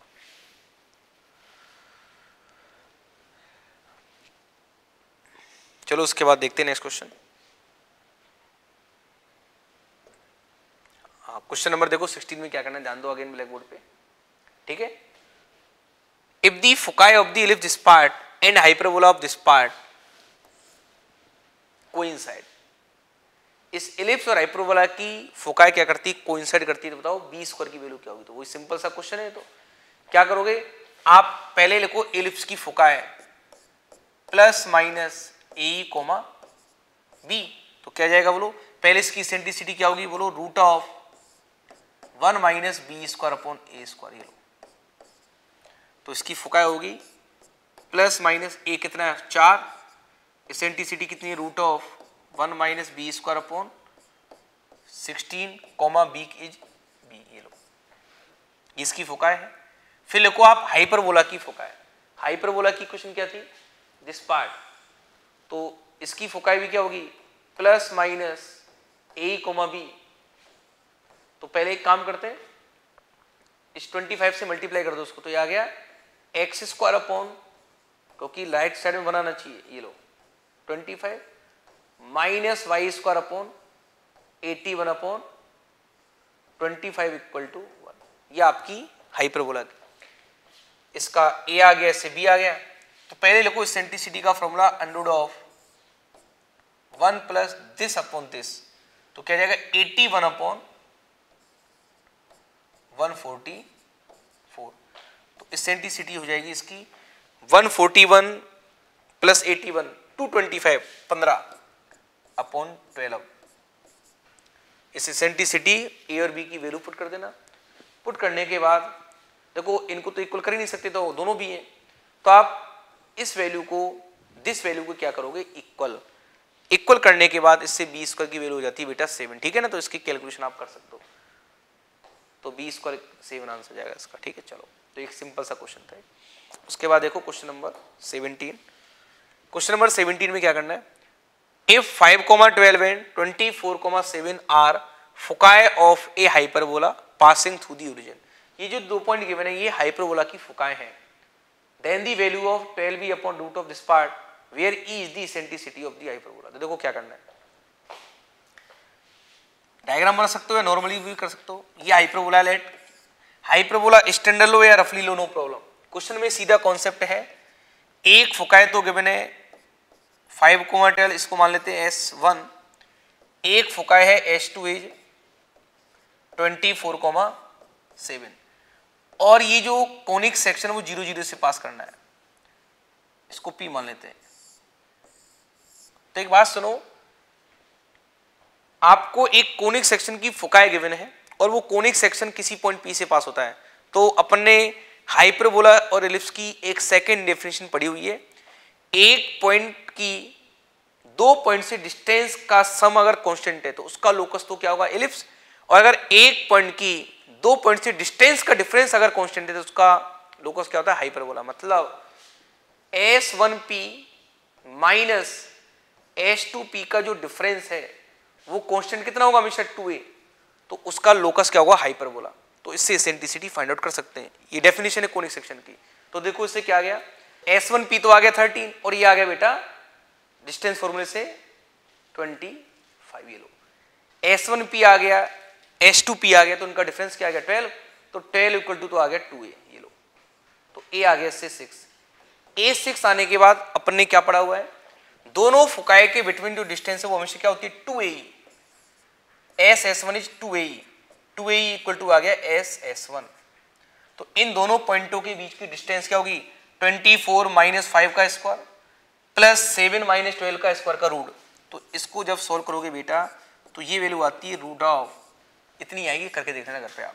Three eight six two a को क्या लोगे? ट्वेल्व तो ई e क्या आ गया? Root three eighty six upon twelve यह आ गया twelve e equal to this part तो अपन से पूछा है ट्वेल्व अपॉन दिस पार्ट तो क्या जाएगा इसका आंसर वन ठीक है तो ये आप कोनिक सेक्शन की सेकेंड डेफिनेशन याद करें इलिप्स और हाइपरबोला में, कि एक पॉइंट की दो पॉइंट से डिस्टेंस का सम अगर कांस्टेंट है तो उसका लोकस इलिप्स होगा, और एक पॉइंट की दो पॉइंट से डिस्टेंस का डिफरेंस अगर कांस्टेंट है तो उसका लोकस क्या होगा? हाइपरबोला जिसमें दोनों फुकाए के बीच की डिस्टेंस हमेशा क्या होती है? टू ए वो चाहे कोनिक सेक्शन आपका स्टैंडर्ड हो या एक जनरल कोनिक सेक्शन हो, ठीक है? चलो. उसके बाद देखो क्वेश्चन नंबर 18 में क्या बोला गया है? Two vertical poles are 150 metre apart and मतलब दो पोल्स हैं वर्टिकली उनके बिटवीन डिस्टेंस आपको गिवन है 150 ठीक है? And the height of one is thrice time that of the other एक की हाइट सेकंड की ट्रिपल है, ऐसे बोलो। If from the middle point of the line joining their feet इन दोनों वर्टिकल पॉइंट्स के जो फीट हैं, उन पॉइंट को ज्वाइन करने वाली लाइन का जो मिडिल पॉइंट है एन ऑब्ज़र्व फाइंड उस पॉइंट से आपने क्या ऑब्ज़र्व किया? The angle of elevation of their top of the poles are complementary. मतलब उस मिडिल पॉइंट से दोनों के टॉप का जो एंगल ऑफ़ एलिवेशन है, वो कॉम्प्लीमेंट्री मतलब एक का थीटा है दूसरे का 90 माइनस थीटा है। कॉम्प्लीमेंट्री एंगल का मीनिंग एक एंगल थीटा है दूसरा क्या मानते हैं? 90 minus theta then the height of the shorter pole is तो जो छोटा वाला पोल उसकी आपको क्या बतानी है? बोलो डिस्टेंस तो चलो सबसे पहले क्या करते हैं? इसका डायग्राम ड्रॉ करते हैं तो देखो जैसे ये चलो ये मैंने बड़ा वाला पोल मान लिया और एक छोटा वाला पोल इनके फीट को ज्वाइन किया आपने। ये डिस्टेंस अगर x है तो ये क्या है इसकी थ्राइस तो उसको थ्री एक्स मान लेते हैं। फिर क्या बोला गया ये इनका मिडिल पॉइंट है। ये टोटल डिस्टेंस कितनी है? वन वन फिफ्टी तो ये सेवेंटी फाइव ये भी सेवेंटी फाइव अब आपने इस मिडिल पॉइंट को इससे ज्वाइन किया और इससे ज्वाइन किया। तो ये बोला गया है, ये एंगल थीटा है कॉम्प्लीमेंट्री एंगल तो ये कितना गया? नाइनटी माइनस थीटा ये लो बस। अब तो क्या करना है? अपन को एक्स पूछा यार। तो एक बार लगा देना टेन थीटा का फॉर्मूला एक, सपोज़ सेवेंटी फाइव, छोटे वाले ट्रायंगल में। छोटे वाले ट्रायंगल में क्या आ गया? बोलो बेटा टेन थीटा इक्वल टू आ गया x by seventy five similarly बड़े वाले ट्रायंगल में टेन नाइनटी वन थीटा क्या होगा कॉट थीटा तो आ गया cot theta equal to x upon sorry three x upon seventy five आपको एक्स चाहिए मतलब टेन थीटा कोट थीटा को एलिमिनेट करना तो मल्टीप्लाई कर दो, क्योंकि टेन इंटू कोट का मल्टीप्लाई किया जाएगा वन तो आ गया one equal to three x square upon seventy five into seventy five. तो कितना आ गया देखो? ये ट्वेंटी फाइव आ गया। तो ये आ गया बेटा x square equal to seventy five into twenty five. इसका रूट ले लो सब। ट्वेंटी फाइव का रूट तो फाइव आ गया। सेवेंटी फाइव का मतलब ट्वेंटी फाइव इंटू थ्री तो ट्वेंटी फाइव का रूट फाइव और थ्री का रूट इज़ रूट थ्री तो क्या आ गया? पच्चीस रूट थ्री तो एक्स आ जाएगा twenty five into root three तो मेरे अकॉर्डिंग इसका सेकेंड ऑप्शन क्या होगा बोलो? करेक्ट होगा, ठीक है? इस टाइप से करना तो एक सिंपल सा क्वेश्चन उसके बाद देखो क्वेश्चन नंबर 19 क्या बोला गया है? Two vertical poles of height 20 metre and 80 metre standing apart on a horizontal plane एक की हाइट 20 मीटर है और एक की 80 मीटर है, जो हॉरिजॉन्टली प्लेन पे स्टैंड हुए हैं। Their heights of the pole of intersection of the lines joining the top of each pole to the foot of the other from this horizontal plane is देखो इसका meaning क्या थोड़ा समझो ऐसे समझो ये वर्टिकल पोल है जिसकी हाइट 80 है और इसकी हाइट 20 है ये 80 है ये 20 अब ये बोला गया है apart from it the height of the point of intersection of the line joining the top of each pole to the other foot मतलब इसके टॉप को तो इससे ज्वाइन किया आपने और इसके टॉप को इसके फुट से ज्वाइन किया। तो इनका जो इंटरसेक्शन पॉइंट है पी इस पॉइंट की, इस सरफेस से क्या बतानी है हाइट मतलब ये एक्स कैलकुलेट करना अपन को। तो अब देखो कैसे करना है इसको बस ये तीन चीज़ें 80 20 और ये एक्स लेट एक्स की वैल्यू तो एक काम करो आप इस डिस्टेंस को लेट कर दो एक्स वन इसको लेट कर दो एक्स टू अब लेट करने के बाद ध्यान दो थोड़ा ब्लैक बोर्ड पे। ये जो बड़ा वाला ट्राइंगल है और ये छोटा वाला ट्राइंगल ये दोनों ट्राइंगल कैसे सिमिलर कैसे समझो ना सिंपल सा। इस एंगल को अल्फ़ा मान लो आप। तो एक बार तो बड़े वाले ट्राइंगल में लगा दो टेन अल्फ़ा टेन अल्फ़ा क्या होगा?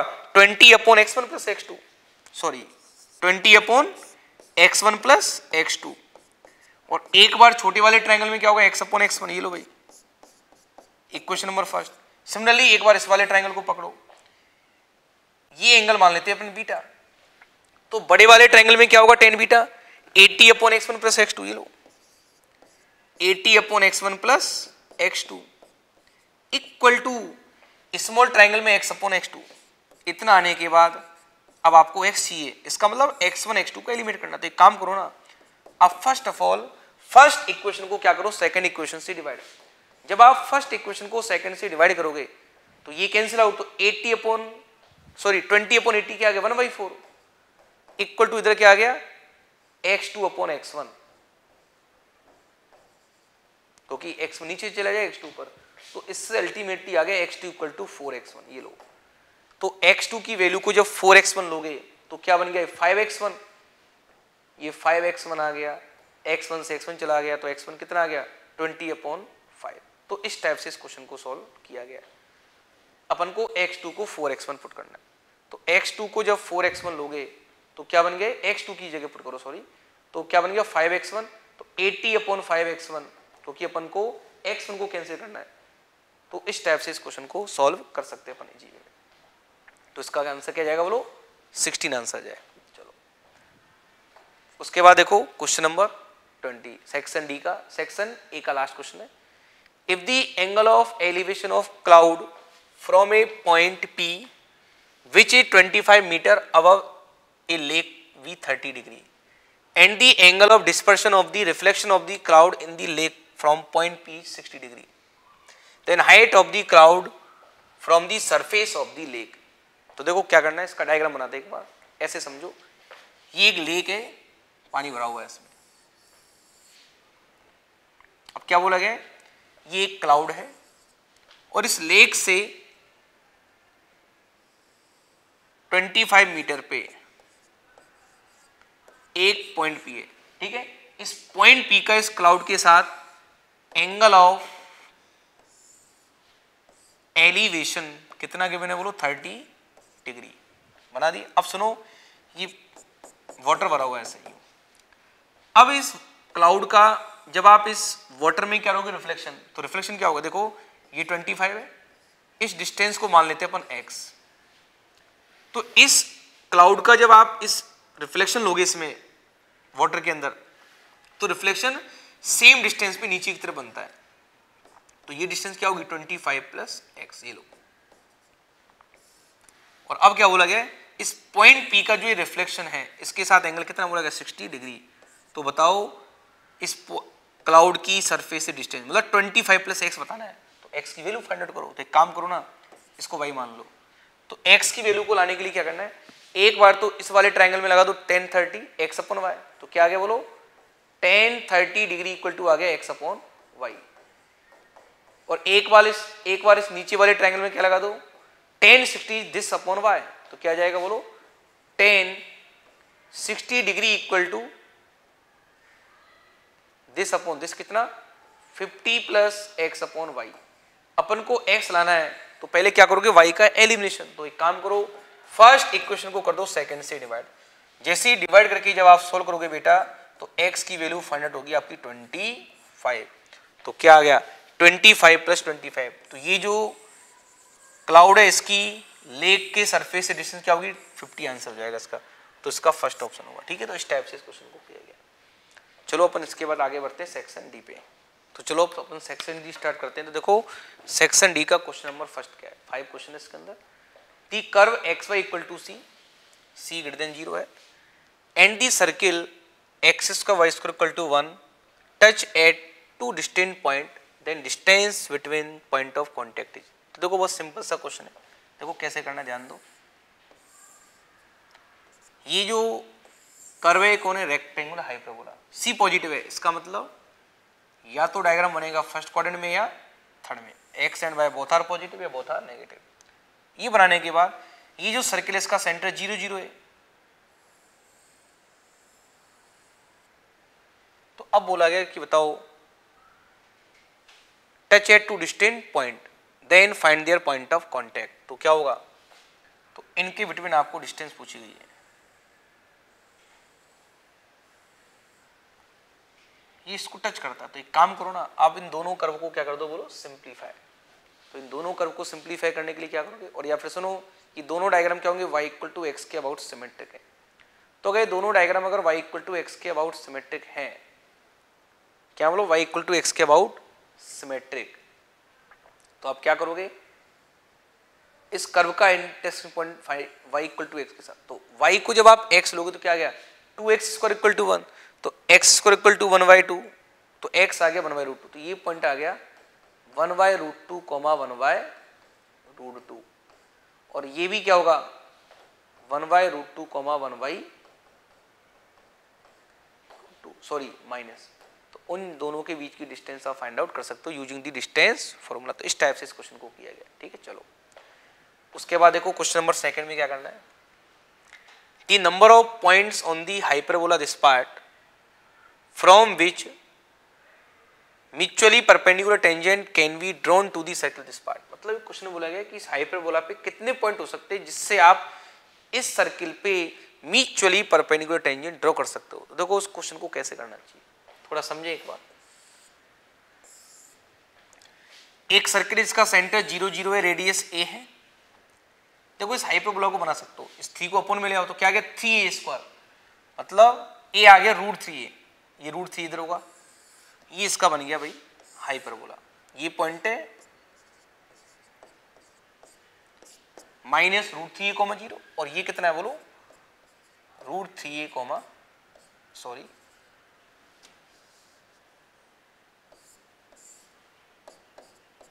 root three comma zero अब देखो, ये पॉइंट है आपका ए कोमा ज़ीरो देखो इसमें कैसे करना चाहिए? एक ऑप्शन तो क्या है? आप इस हाइपरबोला पे एक पॉइंट लेट कर दो a sec theta comma b tan theta और इस पे ड्रॉ कर दो पेयर ऑफ़ टेंजेंट्स और बाद में इसकी इक्वेशन लिख दो S S one equal to T square और बहुत tangents are perpendicular to each other तो क्या करते हैं कॉफिशियंट ऑफ़ एक्स का कॉफिशियंट वाई स्क्वायर को ज़ीरो कर सकते हो आप, ठीक है ना, उसकी हेल्प से कर सकते हैं। बट उससे वेट ऑप्शन क्या ध्यान दो ब्लैक बोर्ड पे? क्वेश्चन में बोला गया कि इस हाइपरबोला पे वो पॉइंट बताओ, जिन पॉइंट से आप इस सर्किल पे क्या ड्रॉ कर सकते हो परपेंडिकुलर टेंजेंट तो बेटा किसी भी कर पे अगर आप क्या ड्रॉ करते हो परपेंडिकुलर टेंजेंट तो परपेंडिकुलर टेंजेंट का जो पॉइंट है, उसका लोकस हमेशा क्या होगा? डायरेक्टर सर्किल ये बात ध्यान रखें। किसी भी कर पैराबोला एलिप्स हाइपरबोला पे अगर आप पैराबोला एलिप्स हाइपरबोला और सर्किल पे अगर आप क्या ड्रॉ करते हो परपेंडिकुलर टेंजेंट तो उन पॉइंट्स का लोकस हमेशा क्या होगा? डायरेक्टर सर्किल इसका मीनिंग ऐसे समझो आप कि ये जो सर्किल है इस सर्किल का जो डायरेक्टर सर्किल होगा, उसी डायरेक्टर सर्किल के पॉइंट से आप इस सर्किल पे क्या ड्रॉ कर सकते हो? परपेंडिकुलर टेंजेंट तो एक्स स्क्वायर पर y square equal to a square का डायरेक्टर सर्किल क्या होगा? एक्स स्क्वायर पर y square equal to two a square ये आपको आना चाहिए। इस सर्किल का क्या होगा? डायरेक्टर सर्किल क्या होगा? टू ए स्क्वायर मतलब इसकी रेडियस क्या? रूट टू ए तो यार रूट टू ए तो कहीं इधर होगा ना? ये ए है, ये root three root two a इधर आ गया। तो ये बन गया इसका डायरेक्टर सर्किल मतलब डायरेक्टर सर्किल पे आप कहीं भी पॉइंट लोगे तो उससे हमेशा आप सर्किल पे क्या ड्रॉ कर सकते हो? परपेंडिकुलर टेंजेंट तो देखो क्या हुआ। क्वेश्चन में क्या पूछा गया है इस हाइपरबोला पे कितने पॉइंट्स है? तो हाइपरबोला पे आप जब पॉइंट लेट करोगे तो आप उन पॉइंटों से सर्किल पे परपेंडिकुलर टेंजेंट ड्रॉ नहीं कर सकते।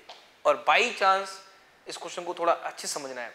गलती से इस रूट थ्री थ्री की जगह अगर टू कर दी जाए, क्या कर दे? टू तो फिर ये रूट टू आ गया ना, इसका मीनिंग ये जो हाइपरबोला है आपका ऐसे बन जाएगा फिर।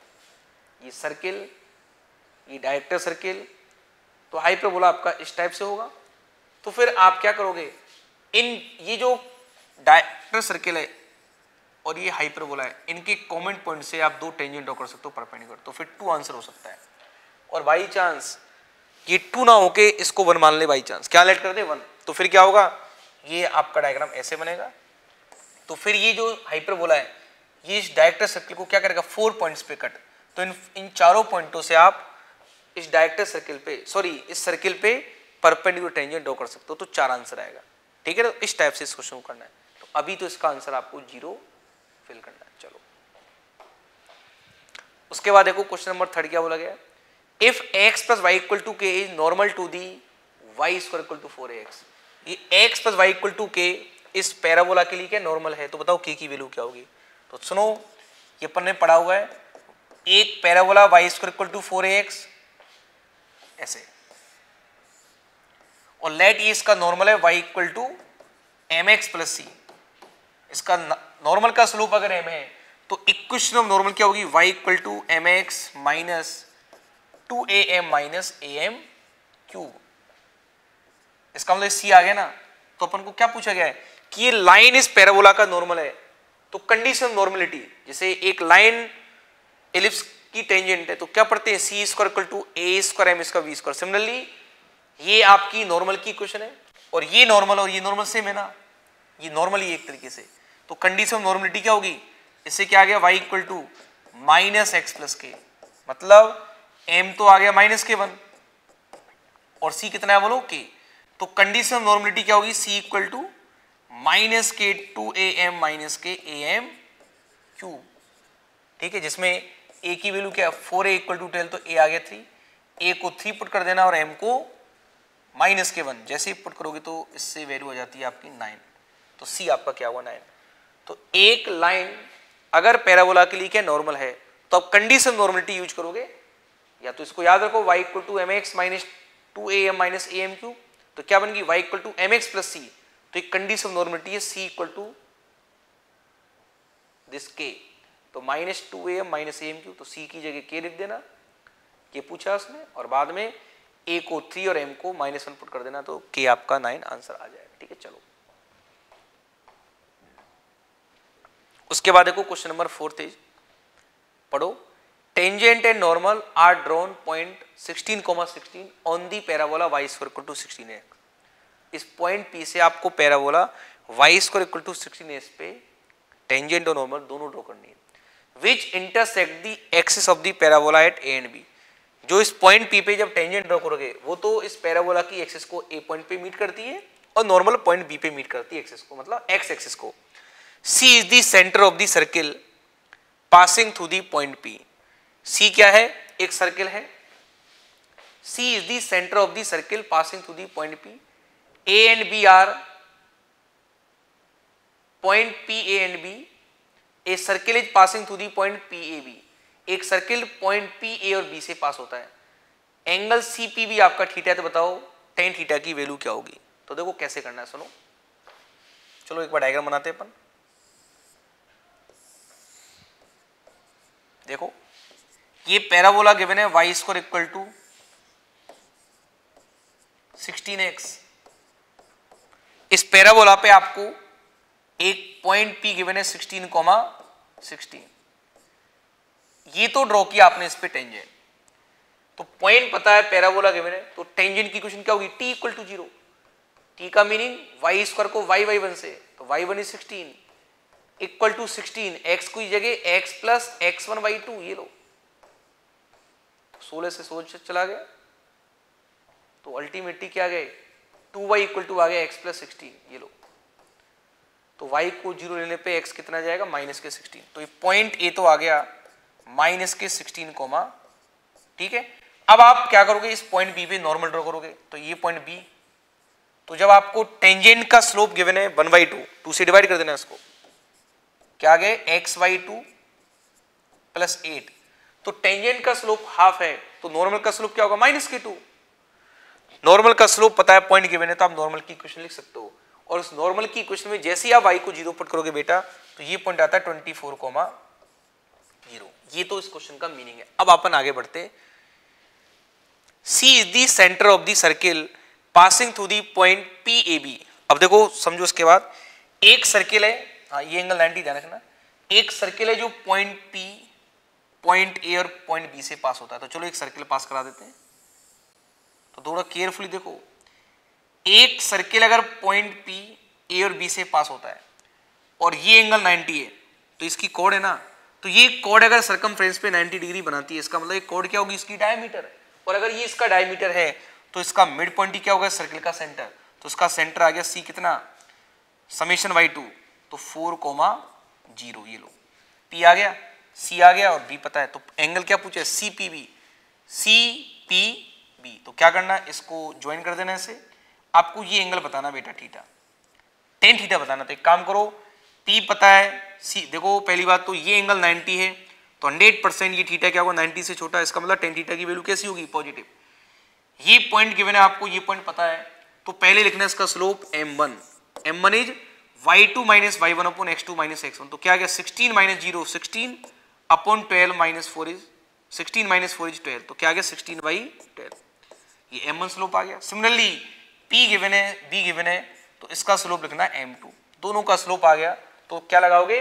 टू लाइन के बिटवीन एंगल का formula tan theta equal to m one minus m two upon one plus m one m two का मोड जैसे ही आप इसकी कैलकुलेशन करोगे तो टेन थीटा क्या जाएगा बोलो? टू ठीक है, और ध्यान रखें, ये एंगल ऑलरेडी 90 से छोटा है तो टेन थीटा की वैल्यू पॉजिटिव होगी, ठीक है? चलो तो इसका अपन को टू आंसर फिल करना है। और उसके बाद देखो, इसका लास्ट क्वेश्चन है। क्वेश्चन नंबर फिफ्थ में देखो क्या बोला गया? Number of straight lines which are normal to y square equal to 4x क्या बोला गया number of straight line which are normal to y square equal to 4x as well as tangent to the hyperbola this part आपको ये बताना है कि इस parabola पे कितनी नॉर्मल से जो इस हाइपरबोला के लिए किसकी तरह बिहेव करती है बोलो टेंजेंट की तरह तो देखो कैसे करना है पहले एक बार समझो ये लाइट ऐसे पैराबोला गिवन है और ये लाइट एक रेक्टेंगुलर हाइपरबोला तो क्वेश्चन में बोला गया कि इस पैराबोला पे ऐसे कितने पॉइंट्स हैं जिससे आप नॉर्मल्स ड्रॉ करोगे तो वो नॉर्मल इस पे किसकी तरह काम करना चाहिए? टेंजेंट की तरह। मतलब इस पॉइंट पे अगर ये नॉर्मल है तो इस पे क्या बनाना टेंजेंट तो एक काम करते हैं अपन। जो ये फ़र्स्ट कर्व है आपका y square equal to four x तो अब y square equal to four x जो पैराबोला है, इस पे नॉर्मल इस हाइपरबोला पे किसकी तरह बिहेव करेगा? टेंजेंट की तरह। तो पहले आप लिखो equation of normal of the parabola इस पैराबोला पे आप एक नॉर्मल की इक्वेशन लेट करो। तो नॉर्मल की इक्वेशन क्या लेट करते हैं? स्लोप फॉर्म में y equal to m x minus two a m minus के ए एम क्यू ये आपने इस हाइपरबोला पे क्या लेट सॉरी इस पैराबोला पे क्या लेट की? इक्वेशन ऑफ़ नॉर्मल अब ये जो नॉर्मल है, ये इस हाइपरबोला पे क्या है? टेंजेंट तो हाइपरबोला पे कोई भी लाइन है let y equal to m x plus c अगर ये लाइन इस हाइपरबोला पे क्या है? टेंजेंट तो condition of tangency is c square equal to a square m square minus b square तो एक काम करो, ये लाइन है y equal to m x plus c जिसमें सी तो कितना आ गया दिस पार्ट और एम को एम पुट करो। तो सी स्क्वायर की वैल्यू तो क्या लिखोगे? सी स्क्वायर आ गया माइनस के टू ए एम माइनस के ए एम क्यूब का whole square equal to a square m square और बी की जगह भी क्या लोगे? ए, क्योंकि ये रेक्टेंगुलर हाइपरबोला तो देखो, ए और ए कॉमन के बाहर ए स्क्वायर आ गया और ए स्क्वायर से ए स्क्वायर कैंसिल आउट हो। चलो, पहले इसको रिमूव करो। तो remaining part is minus two m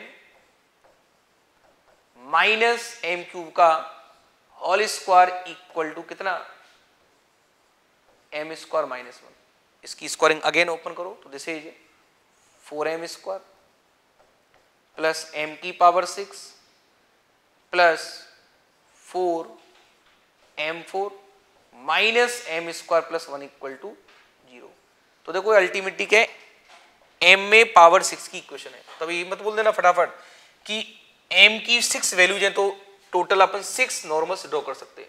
आप ये देखो कि एम की रियल वैल्यूज़ क्या होंगी। तो एक काम करो, इसमें अपन एम स्क्वायर को बेटा टी लेट कर लेते हैं। जब आप एम स्क्वायर को टी लोगे तो क्या गया? टी की पावर थ्री टी की power three plus four T square four T square आने के बाद क्या गया? Four M square minus M square three M square तो प्लस के three T square plus one equal to zero ये टी में क्यूबिक है और अल्टीमेटली इसमें होगा क्या? जब आप इसको एक फ़ंक्शन लेट करोगे F of T equal to क्या लेट करोगे? Function F of T equal to तो बेटा ये जो टी में क्यूबिक इक्वेशन है इसका जब अपन डायग्राम बनाएँगे, देखो, अगर टी को पॉजिटिव लोगे तो ऑल टर्म्स आर पॉजिटिव और टी को नेगेटिव लोगे, ये क्यूबिक इक्वेशन है। इसका जब आप एवडेस करोगे तो इसका एवडेस एक्स पॉजिटिव होगा मतलब ये एक इंक्रीजिंग फ़ंक्शन है। तो इसको केवल, इसका एक ही रूट होगा, और वो रूट कैसा होगा? टी नेगेटिव आपने एम स्क्वायर को टी लेट किया तो it is become cubic in T और इस क्यूबिक इक्वेशन का ओनली वन रूट है, और वो भी कैसा रूट है? नेगेटिव क्योंकि ये टी पॉजिटिव लेने की तो हमेशा पॉजिटिव वैल्यू होगी। और आप एफडेस टी करना है एफडेस टी इसका पॉजिटिव होगा तो F F of T increasing function तो टी नेगेटिव आ गया तो इसका एक रूट आ तो गया बट वो टी कैसा नेगेटिव बट एम स्क्वायर को टी लोगे तो M square equal to negative तो एम की वैल्यू क्या रियल हो सकती है कि नो इसका मीनिंग इस हाई पैराबोला पे ऐसा एक भी पॉइंट नहीं होगा, जिससे आप इस हाइपरबोला पे क्या ड्रॉ कर सकते हो? टेंजेंट इस पैराबोला पे कोई भी पॉइंट ऐसा नहीं ले सकते, जिससे नॉर्मल ड्रॉ करोगे तो वो नॉर्मल इस हाइपरबोला पे किसकी तरह काम करेगी बोलो टेंजेंट तो इसका आंसर ज़ीरो फिल करना अपन को, ठीक है? तो इस टाइप से इस क्वेश्चन को सॉल्व करना है। चलो बेटा, जाओ थैंक यू